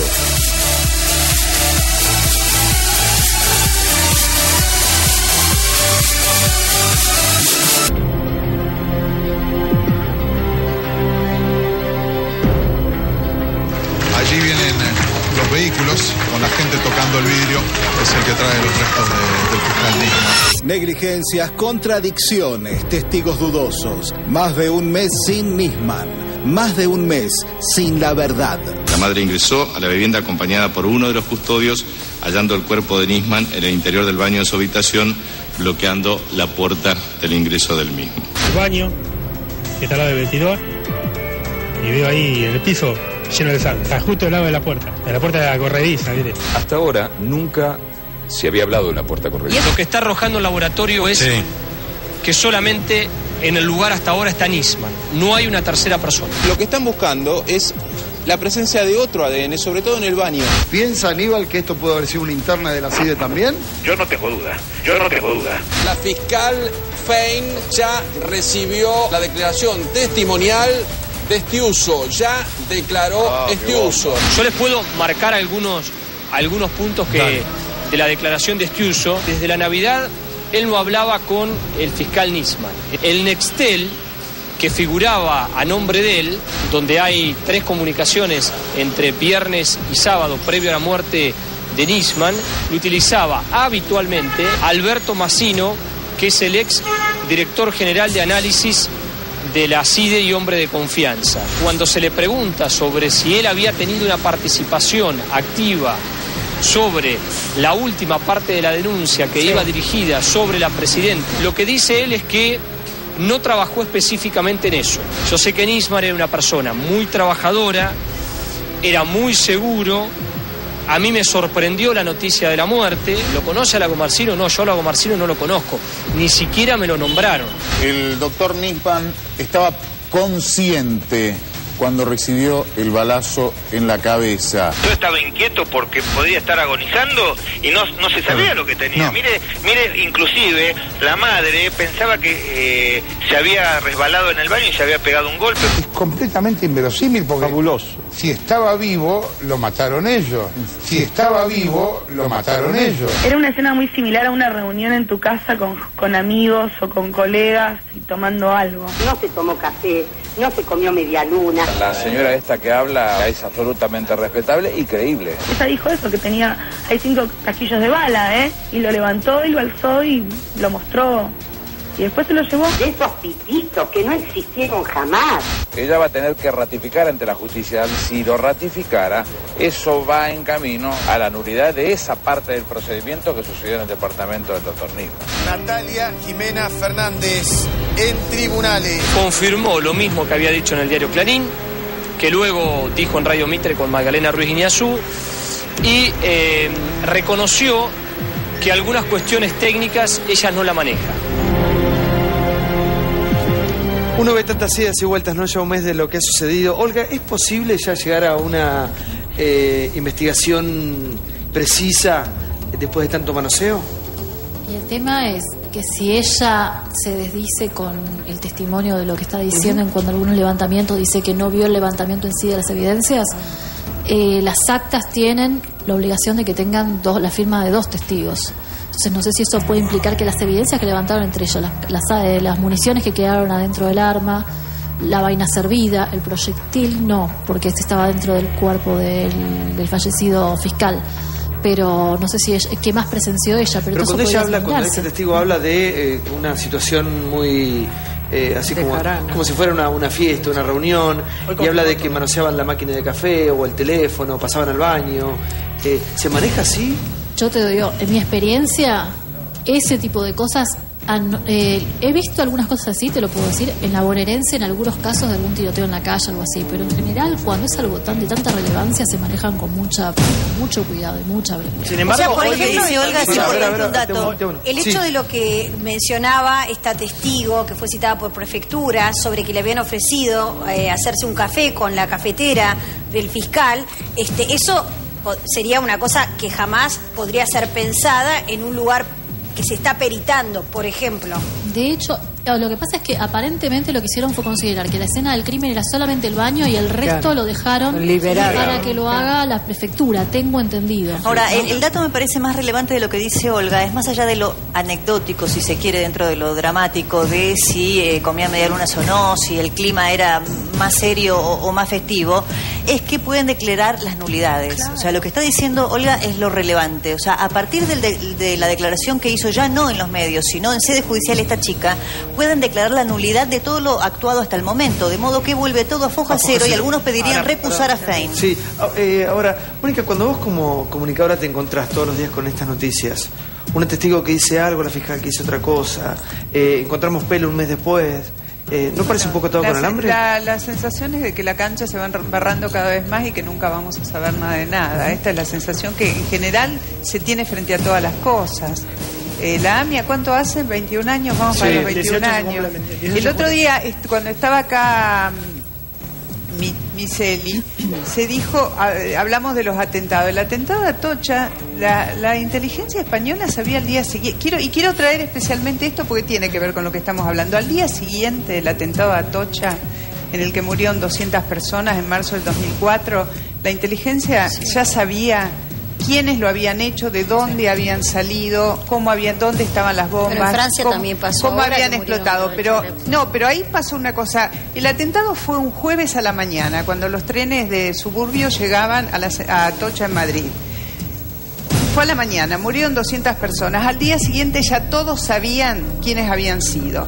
Aznar, como venían las elecciones ese mismo domingo, le mintió a todo el mundo. Él y su ministro del Interior y todos dijeron que era la ETA. ¿Por qué dijeron que era la ETA? Porque si decían que era terrorismo islámico, como había mandado tropas a Irak, eh, iban a pagar un precio en las urnas. Tenían siete puntos arriba el jueves. Perdieron las elecciones con Rodrigo Zapatero el domingo, porque la gente supo que le estaban mintiendo y porque salió a la calle en una inmensa manifestación popular a la que se convocó por mensaje de texto. Perdieron en menos de 48 horas las elecciones más de 7 puntos por mentir. Eh, tenemos a un fiscal acá, eh, a Martín Ocampo. Gracias por estar, Martín.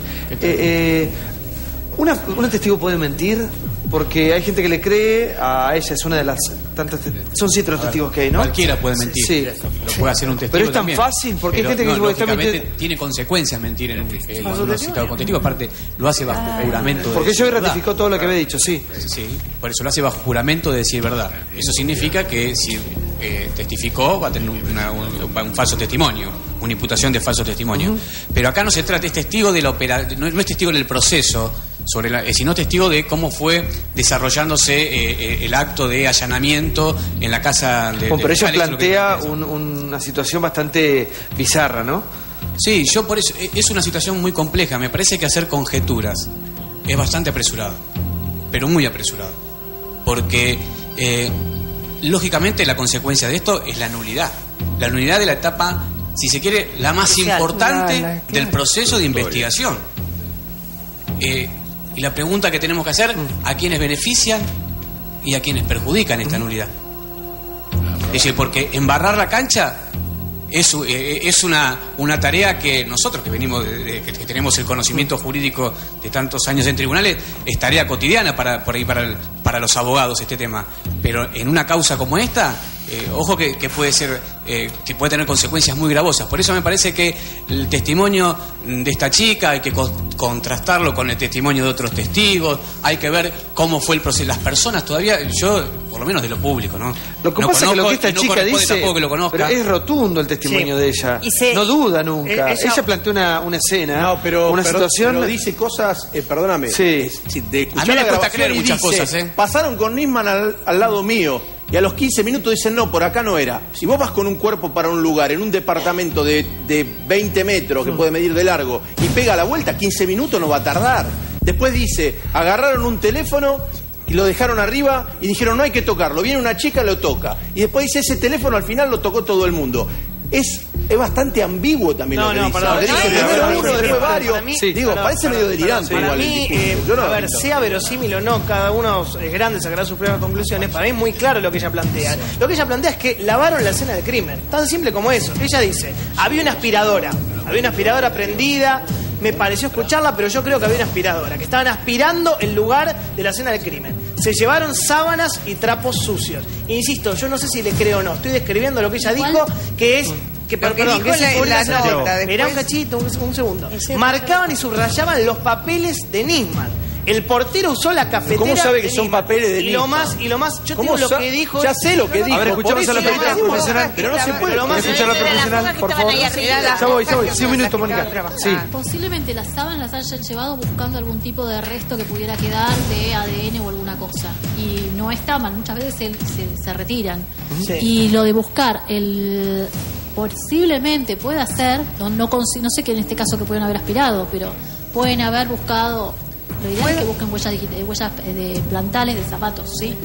Que ¿Y eso lo buscan con sí. otro método. Pero si no, podrían haber aspirado para recolectar algún tipo de elemento y después buscarlo. Un dato, ¿Yo puedo hacerte cortito. una Sí, pregunta? un minuto, sí. No, le quiero hacer una pregunta de a mí algo que me parece muy extraño. Es regular que la pre- creo que es la prefectura la que la convocó, ¿no? Sí. Que la salgan a buscar a 15 Ahí cuadras a una testigo y varias horas después de que inicia el operativo, porque estamos en una zona urbana eh, con una concentración demográfica muy alta. eh, Ahí en una manzana viven Pero por lo ¿por qué menos no le mil, tocaron dos el mil timbre al personas, vecino? y ¿Qué se sé van yo? 15 cuadras a buscar a una testigo a la mitad, ya Parece que la avanzado el entender que la operativo. habían marcado, como que ella está, eh, la No, fueron pues a buscar especialmente. le da- uno tiene Sí, que ver. pensar todo.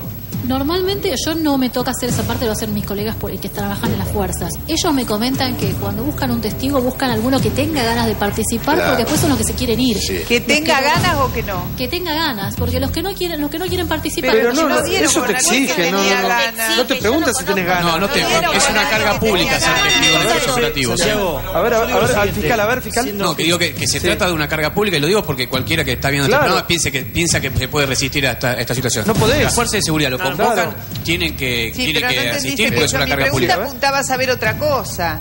Porque le estoy dando una doble intención a mi pregunta.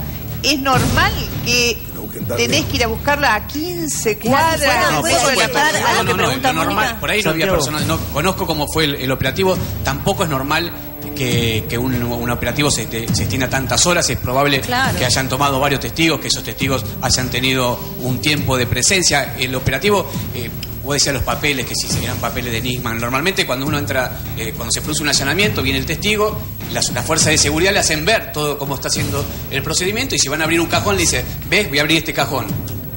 Y le muestran que le abre el cajón y después da, da- da- Ella nunca vio el cuerpo de las Nisman. Ella nunca vio el cuerpo de Nisman. No, bueno, No, no, no, no. decir que pero después se, se le hace, se hace firmar un acta de cómo fue el procedimiento, todas estas cuestiones son de rutina en el, proce- en el proceso de, de- de hacer un, un allanamiento o cualquier operativo eh, judicial. Digo, se trata de encontrar, de dar certezas en la causa de que lo que se está haciendo se está resguardando la prueba, porque lo que se obtiene ahí es la prueba, es fundamental. En Pero el proceso que- penal no hay condena sin prueba. Ella dijo que la fiscal... Gracias, fiscal, por estar con nosotros. Gracias, Olga, por venir.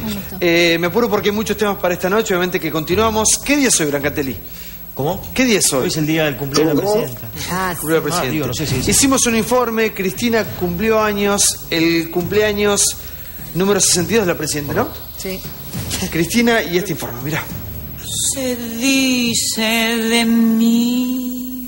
Hoy es el 19F, el día del cumpleaños número 62 de Cristina Kirchner. Tweet de Agustín Rossi, feliz cumpleaños CFK Argentina. Tweet de Luis Delía, que el Dios de la paz, la justicia, la verdad y la vida la colme de bendiciones a usted y su familia. Feliz cumpleaños compañera CFK Argentina. Tweet de Daniel Filmus, feliz cumpleaños compañera Cristina, que tenga un gran día rodeada como siempre del afecto y el apoyo de su pueblo.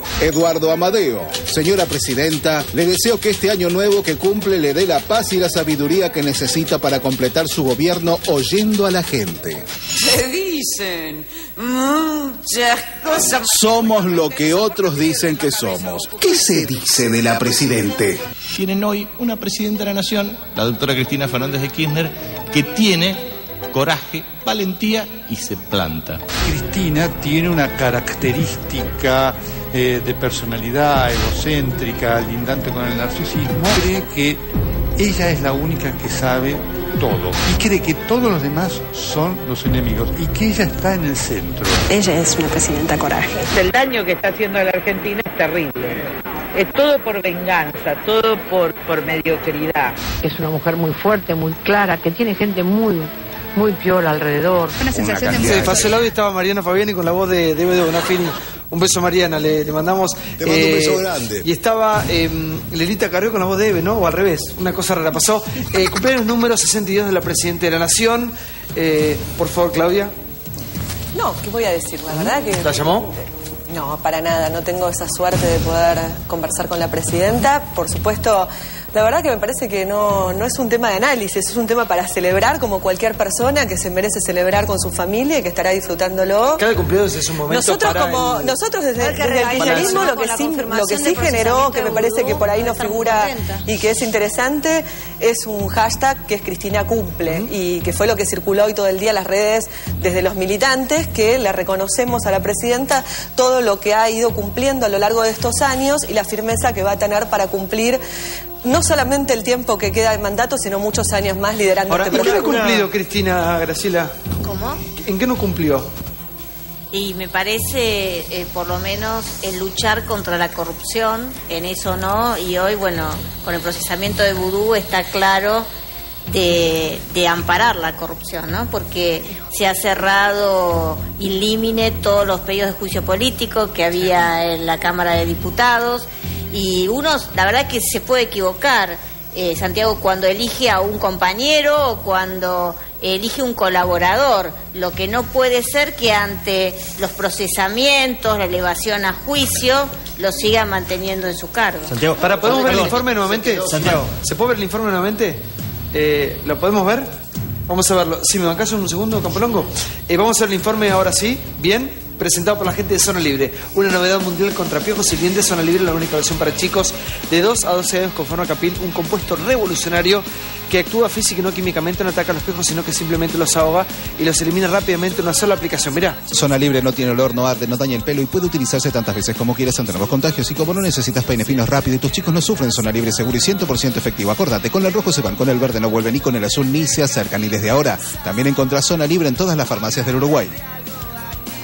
Vamos a ver el informe, tuvimos un problemita recién presentado por la gente de Artrostop, artritis y dolores y Artrostop té caliente, el primer sobrecito para disolver en agua especialmente formulado para tratar de forma inmediata, rápida, perdón, de forma rápida los dolores que produce la artritis. Artrostop té caliente contiene diclofenac potásico, un poderoso analgésico antiinflamatorio que calma tus dolores y que puede ser utilizado también por aquellos que no pueden consumir sal. Artrostop té caliente es tan efectivo como un comprimido y empieza a actuar más rápido porque está disuelto antes de entrar a tu cuerpo. Artrostop té caliente hasta tres veces por día y seguir disfrutando de la vida. Y ahora en verano también podés disolverlo en agua fría. Acordate, para aplicar directamente en la zona del dolor, Artrostop Gel, que hace foco en tu problema y actúa de verdad.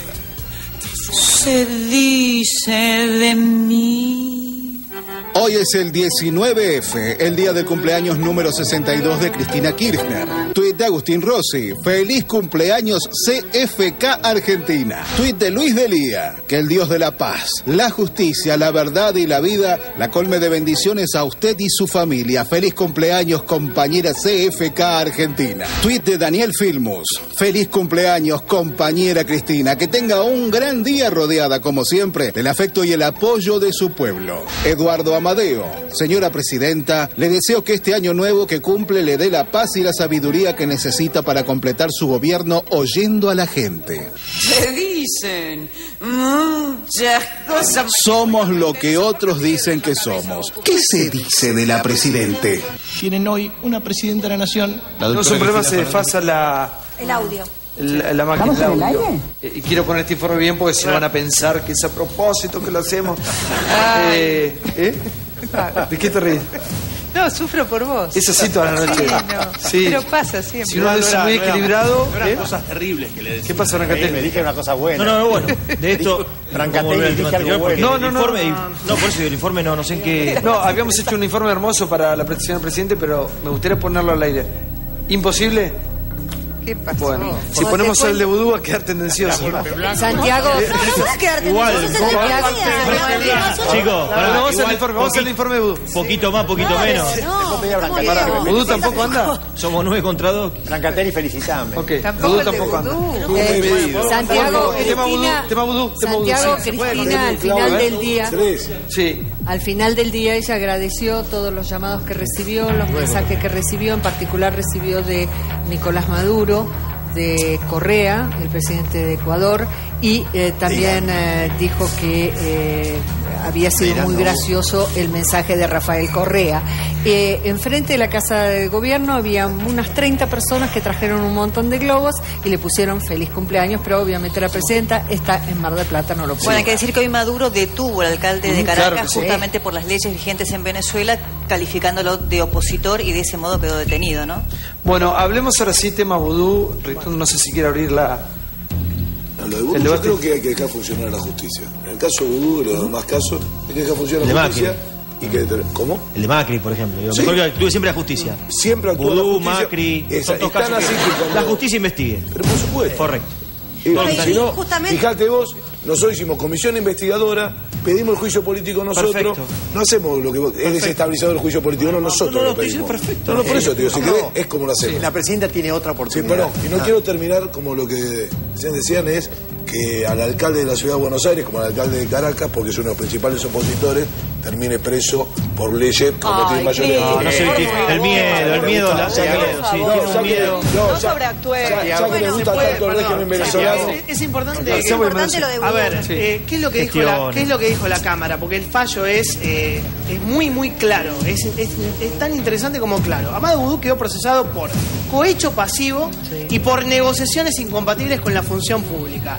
Esto es, apropiarse de la imprenta Chicone para hacer negocios y quedarse con 172 millones de pesos. Esto no lo digo yo, no lo dice Brancatelli, lo dijo. En primera instancia un juez y ahora lo confirma la Cámara. Quedan por probado que Chicone estaba quebrada, que Vudú y Núñez Carmona se interesaron en la compra de la imprenta Chicone, está la placa. que buscaron, que buscaron a un fondo amigo, un señor que se llama Alejandro Vandenbruele, de All Fan, que se reunieron con los chicones. La Cámara explica con lujo de detalles que hubo cinco reuniones acreditadas. Telefe y Fresh Market, Palacio de Ujó. Una lástima que no haya estado Agustina Canfer porque ahí justamente Mañana, mañana, mañana. apa- aparece un Mañana llamado. se lo pueden decir eso. Bueno, por eso. Porque aparece un Bueno, llamado. vamos a dejar de hablar de vudú Porque aparece un llamado a Agustina Canfer que mañana sería bueno que le preguntemos. Se produce la compra, Nicolás Chicón entrega el 70% a The All Fan y a cambio le levantan la quiebra, sale el plan de pagos de la FIP y 50 mil dólares por mes. Cierro. Se produce el salvataje y Chicón empieza a ganar dinero. ¿Cuánto? Boletas para el Frente para la Victoria, 12 millones de pesos. Vudú se queda con esa plata. De las boletas. E impresión de billetes por 100 millones de pesos. Por eso esto es cohecho pasivo. Sí, en cumplimiento de los deberes funcionales. Y aparte hay que decir que las boletas no las imprimió Chicone porque no, No, tenía la no. capacidad, en realidad las tercerizó, Las tercerizó. a través de Chicone. Es correcto. Y lo otro es que hay varios llamados a Agustina Canfer porque era la forma, y esto está muy bien descrito en la sentencia inicial del doctor Lijo, donde llamaban para que después contestara. Hay un llamado concreto, teléfono. 847. Y este del Dufo es algo nuevo porque no estaba reflejado la sentencia inicial. De todas formas. Mañana tal vez le podamos preguntar. Johnny, sí. Eh, Está la pendiente ahora la investigación sobre el patrimonio, porque bueno, que es la consecuencia de esto, Claro. en donde Vudú y todo su círculo familiar está investigado eh, por enriquecimiento y, y yo que hicimos un análisis con Manuel Garrido de todo esto, realmente no puedo explicar nada con nada. Por favor. Vos fíjate cómo empezó este tema de Chicone. Es decir, es la forma de actuar este gobierno. Lo mismo que hicieron con Nisman cuando presentó la denuncia. Salieron a atacarlo todos en bloque, eh, hicieron destituir a un fiscal, a un procurador. como Al fiscal Esteban- eh, fue primero. Esteban Rigui, Sí. a Rívolo lo sacaron. Y a Rafecas. Eh, A Rafecas. a Rafecas Rafecas. también lo sacaron. Este, apa- aparentemente parecía que era. Y decían exactamente lo mismo, destruían que no había argumento, que no había fundamento.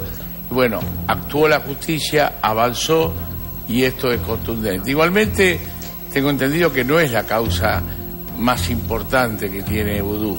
No, la causa más ilícito. importante la tiene Ollarvide y es la de la del canje del 2010, que ahí tiene un costo económico para el país tremendo, Sí. que esa causa la tiene parado Yarvide, y creo que fue la denuncia hay- hizo hay una Claudio Sí. No, no, solamente cuando lo escuchaba decir esto y, y- y me acordaba de Esteban Rigui, digo, qué rápido se pasa del nosotros al ellos, ¿eh? Es cuestión de un... Bueno, es que la Sí, discusión ahora es saber si políticamente puede nunca sabés seguir. cómo pasás Digo, de rápido. Es la primera vez en la historia. Mínimo, mínimo que te desaliñás y pasaste del nosotros a ellos sin solución Es la de primera vez en la historia que teníamos, digo, un vicepresidente procesado, porque ahora no solamente tenemos el vicepresidente procesado, sino ratificado por la Cámara. Eh, es muy interesante porque ayer la movilización popular era por justicia y en el camino de la investigación por vudú dejamos al fiscal Ríbola afuera, al procurador Rigui y al juez Rafecas. Entonces la pregunta que yo me hago es si podemos volver a discutir si vudú, por supuesto, la Constitución ampara que todo ciudadano es inocente hasta que se demuestre lo contrario, ese principio constitucional lo alcanza, pero ¿puede seguir siendo el vicepresidente de la Nación Bueno, Argentina? es interesante. Ahora, Por en este contexto, Jurídicamente puede ser. Puede. Pero Ahora, políticamente. Sí. Vudú, cuando eh, fue procesado, eh, había desaparecido de la escena pública. En el acto de ayer de Cristina, que fue un acto muy importante por el día en el que se produjo, porque era el contracto de lo que venía a ocurrir en la marcha posterior, que ya dijimos mil veces que fue multitudinaria, eh, Vudú aparecía en plano en la cadena nacional. Él había Chino, desaparecido. María Julia, sí, eh, estaba Aníbal Fernández y estaba Amado Vudú. Eso es un gesto político Pero también. no- y realmente A ver, es, sí, es- así es es. curioso, me parece. Yo María Julia. es peligroso. Sí. Hay una cuestión, ah, lo dije una vez discutiendo con Brancatelli cuando decían que estaba procesado Macri, con ese pensar, eh, Plager, si está procesado Macri tendría que renunciar, si mañana alguien procesa a la presidenta lográs que se vaya. Está un digamos. caso de juicio oral. Eh, yo digo, yo estoy eh, diciendo- es una atribución absolutamente personal y una decisión Bueno, política. no, Tenés razón, no es- jurídicamente, perdón, jurídicamente le- le- lo comprende como todos los ciudadanos la inocencia que es un Está bien, principio constitucional entonces, ¿por hasta que se Entonces, contrario. Pero yo entonces, pregunto, viendo sostener a Vudú, la, presidenta lo sostiene a Vudú, es una señal también. Y ya en tiene- esta misma línea que bien, decís vos, tiene el yo estoy imputada, sigo gobernando. Pero en Él el caso, en el- pero estamos hablando en el mismo momento que justamente lo que estaba planteando Nisman y que ahora lleva Policita adelante es una causa que involucra a la presidenta. Pero Con es esa idea de que ¿eh? la, praus- la es- causa la involucre pero- cualquier No, no, no, no, no, imputación. espérate, te digo por qué es distinto. A ver, a ver, a ver si- No, por la Digo, Cámara, de- no es lo mismo. Hay una di- diferencia muy, grande. Una cosa es una imputación que por Y supuesto tendrá que y otra cosa es un procesamiento y una elevación a juicio oral. Y otra cosa es una condena, como en el caso de Carlos Menem, que sigue estando en el Senado a pesar de que está condenado. Bueno, No, pero lo ampara todo es malo. el kirchnerismo. Bueno, y yo te de acuerdo, se lo recuerdo dije acá a un ministro. Yo Quédese recuerdo- tranquila que se lo dije a un ministro acá No, del no gobierno. tengo duda. Yo recuerdo cuando Néstor Kirchner decía traje a rayas a los que se robaron Se la plata de la corrupción. Sí, A los- sí por favor, Eh, Artemio. No, no, no, escucho. Siguiendo la lógica de la oposición, acá no queda gobierno, porque evidentemente son todas presunciones que hay que concretar en hechos. Me parece que hay que dejar actuar la justicia. Vudú, como decía Débora, tiene el beneficio todavía, obviamente, de su inocencia y está bien. Y el gobierno tiene que seguir gobernando, él ha sido electo y Bueno, tiene que no hacer las funciones para fue Tener electo. Si la oposición quiere cambiar de funcionario desde el vicepresidente, que gane las Pero el elecciones, mismo peronismo, es más fácil, es un camino más corto, se lo recomiendo y falta poco. Sí, a ver. La presidenta va perdiendo una y otra oportunidad para acercarse a la gente. Perdió la oportunidad con Nisman y espero que no la pierda ahora. Vudú está procesado por dos causas y tiene cuatro en espera. Si la presidenta tomara la decisión de pedirle que dé un paso al costado y que Perdón. siga el camino constitucional, la presidenta se acercaría Perdón. a la gente. No, creo ¿a que no va a ser Pero creo que no va a ser así. Porque la presidenta Es un- es otra vez error. vive esto como una conspiración una manera y lo va a defender a A Vudú. Peor para ella. Sí, por favor. No, yo la verdad que creo que acá, hay, como decía Artemio, hay que dejar actuar a la justicia. Lo que sí, a mí me parece, hay un dato que yo, digo, seguramente es una casualidad, pero me parece que está bueno por ahí eh, que estas coincidencias las sepamos todos. El abogado de los chicones que dieron vuelta a la causa con un Rusconi. testimonio es Rusconi, el abogado de la. Seguramente es una casualidad. Después yo como abogada, digo, yo soy abogada, juez, hago- ¿medio vuelta? hice derecho penal muchos años. Yo la verdad que creo que hablamos todos con una liviandad de las causas penales. con tanto- A mí cuando la ¿Te verdad me que venía, me venía a la ver causa una persona en mi estudio. asesinato de? A mí me venía a ver una persona a mi estudio y yo le decía, hasta no ver la causa, yo no te puedo decir absolutamente nada. ¿leíste la causa Vudú? Hasta no ver la ¿vos causa, no absolutamente nada. Pero los Rusconi, ¿qué camaristas la vieron, está actuando la justicia, como en el caso de. Macri, como en tantos otros casos. Y la verdad es que a mí me parece que lo que nos tenemos que preguntar es qué es lo que nos está pasando en este país ¿Qué le pasa con, a la con, con Y a un, un país que está inserto, como dijo ayer la presidenta, en un mundo de intereses. Si no empezamos a discutir qué intereses hay atrás.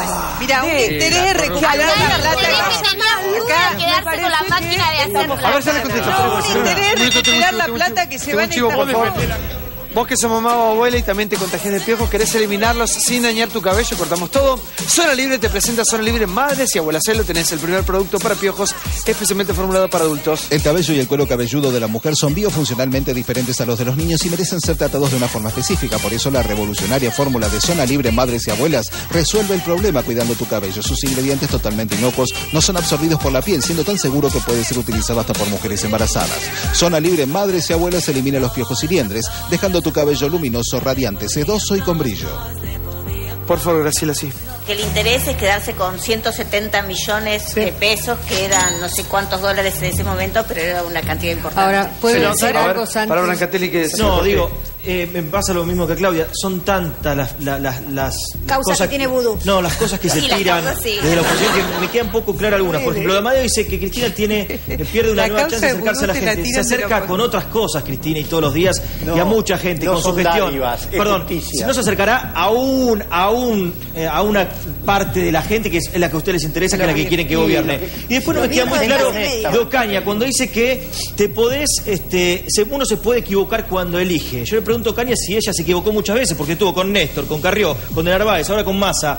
Digo, ¿desde qué lugar hablan cada uno? pero no. Cuando hablamos. no, ¿y dónde Perdón, esto hace 20 años? También. A ver qué conteste. Perdón, pero digo, y lo mismo en Piumato. Cuando uno habla de, de un país mejor, de que. Escúchame, Brancatelli, ustedes estuvieron con Moyano, con este, con que Lázaro, que- con, escúchame. Con los militares. Yo, la verdad, ¿En qué lugar ¿sabés habla? qué? Cuando- yo cuando- hablo cuando desde el lugar que Con los militares. Yo hablo desde el lugar que siempre hablé y es de Pero de la este lugar. A mí, ¿sabés qué pasa? Que Néstor, cuando Sí. Néstor me vino, con- te dijo esto, hay que ponerle trace que a raya a los que robaron la plata de este país. Mm. Bueno, viejo, Vudú se robó 170 millones y pretendía quedarse ah, con la, plat- la máquina de hacer plata. ¿Para qué? Para hacer plata. Para él. Su enfrentamiento con Moyano, ¿qué nada, quedó? ¿Eh? Yo, escúchame, yo hice todas las denuncias en la justicia. A ver, ¿en qué quedó? ¿eh? Pará que la quería- sigo, Yo quería aclarar una cosa. Ustedes lo bancaron a Vudú. A mí Eh, me sorprende. tuvo lugar en la lista y se A mí me sorprende. Ustedes lo bancaron a Vudú, ¿no? Yo, me, acuerdo que. Moyano y Piumato apoyaron a Vudú para precandidato a jefe de gobierno Toda, toda la de la ciudad de Buenos Aires. año, cuando- año 2010, toda la CGT. se equivocaron, Eh, La ¿no? denuncia, obviamente. Ah, bueno, está bueno que lo Pero la Pero denuncia, perdón, por favor, eh, eh, la denuncia de Chicone, el primero que hace la denuncia de Chicone es Jorge Asís, Sí. en Sí, un señor. artículo en julio del 2011. O sea que nosotros fue después del apoyo que le dieron ya no estábamos Ah, con. Vudú. Pero te digo, a mí lo que, me, lo que me llama la atención en este país es la doble vara. Cuando fue el tema de, de Macri, los que ahora defienden a Vudú le pedían que Macri tenía que dar un paso al costado por eso mismo. Ahora, es vudú y cambian de actitud. Esto es lo que le hace mal al país. Tenemos que tener una conducta igual para todos los casos. Si, si, si un jefe de gobierno de la ciudad de Buenos Aires, por estar procesado, no nunca se lo elevó a, a- tengo entendido que se elevó a juicio la causa y a Ahora A ver, ahora vamos. y a, y a Macri no se lo elevó. No, a Macri este, no se lo elevó. no lo estoy defendiendo a Macri. Si Macri se tenía que ir, se tiene que ir vudú. No se puede tener una postura para uno y cuando me toca a mí a ver, cambiar la ver, sí, Exactamente. por quiero favor. que claro esto, porque si no, hubo comisión investigadora donde tuvo minoría el PRO, siendo mayoría en la legislatura. El Frente para la Victoria, terminado la comisión investigadora, ni pidió el juicio político. Ni pidió el juicio político. Ofrecimos el juicio político y los funcionarios, el jefe de gobierno, fue a la legislatura de la Ciudad de Buenos Aires a dar respuestas por muchas horas. El ministro de Seguridad fue más de tres veces y cada uno de los funcionarios fue a la legislatura. Fue- acá no le dio respuesta a nadie. A nadie, no puso la cara con nadie. Sí, ni políticamente ni judicialmente se manejó como se manejó. Pero políticamente, decir por qué lo hizo, cómo lo hizo, si es en pos del proyecto nacional como dice Brancatelli, o lo hizo porque se quería afanar los 170 palos, la verdad es que nadie lo sabe, porque no le dio respuesta a nadie. Y lo esta es una gran y diferencia. Y la ley de estatiza- estatización de Chicone, que es la, Ah, la frutilla de esta torta escandalosa y corrupta, se aprobó en un día. No nos dejaron abrir la boca, impusieron el nombre y pretendieron, pretendieron cerrar todo el paquete estatizando a Chicone para sacarlo a vudú del tema, pero le falló, por desgracia. Como ahora hace con, Gracias la, por con el tema de Sí, por 10 el segundos, sí. Que nosotros, para, contarlo nada más, nosotros en la legislatura somos minoría al Frente para la Victoria. Nos sentamos siempre, discutimos proyectos que presenta, por ejemplo, la diputada Ocaña para repudiar sistemáticamente algún acto de gobierno del Estado Nacional en lugar de resolver los problemas de los porteños y nos quedamos sentados mientras discuten delirios que no tienen nada que ver con los problemas de los porteños. Y sin embargo nos quedamos sentados y discutimos. Gracias. Y perdemos. Santiago, Gracias por y todo. perdemos. Santiago, Sí, no, antes de irnos, antes de irnos, Sí. quiero decir algo. Quiero decir algo. Este domingo se cumplen tres, Tres años, de la tragedia Sí. de Once.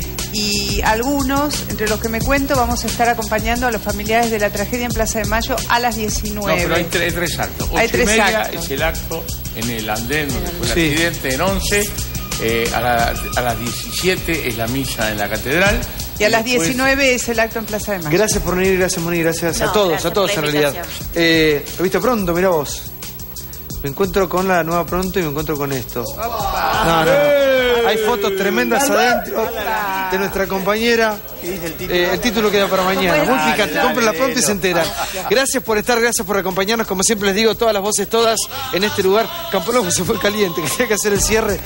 Está bien, si querés querés enojar, enojar. Che, gracias por acompañarnos. Ser respetuosamente hicimos este programa para vos. Mañana te esperamos 22 horas. Sigan en América. Chau. ¿De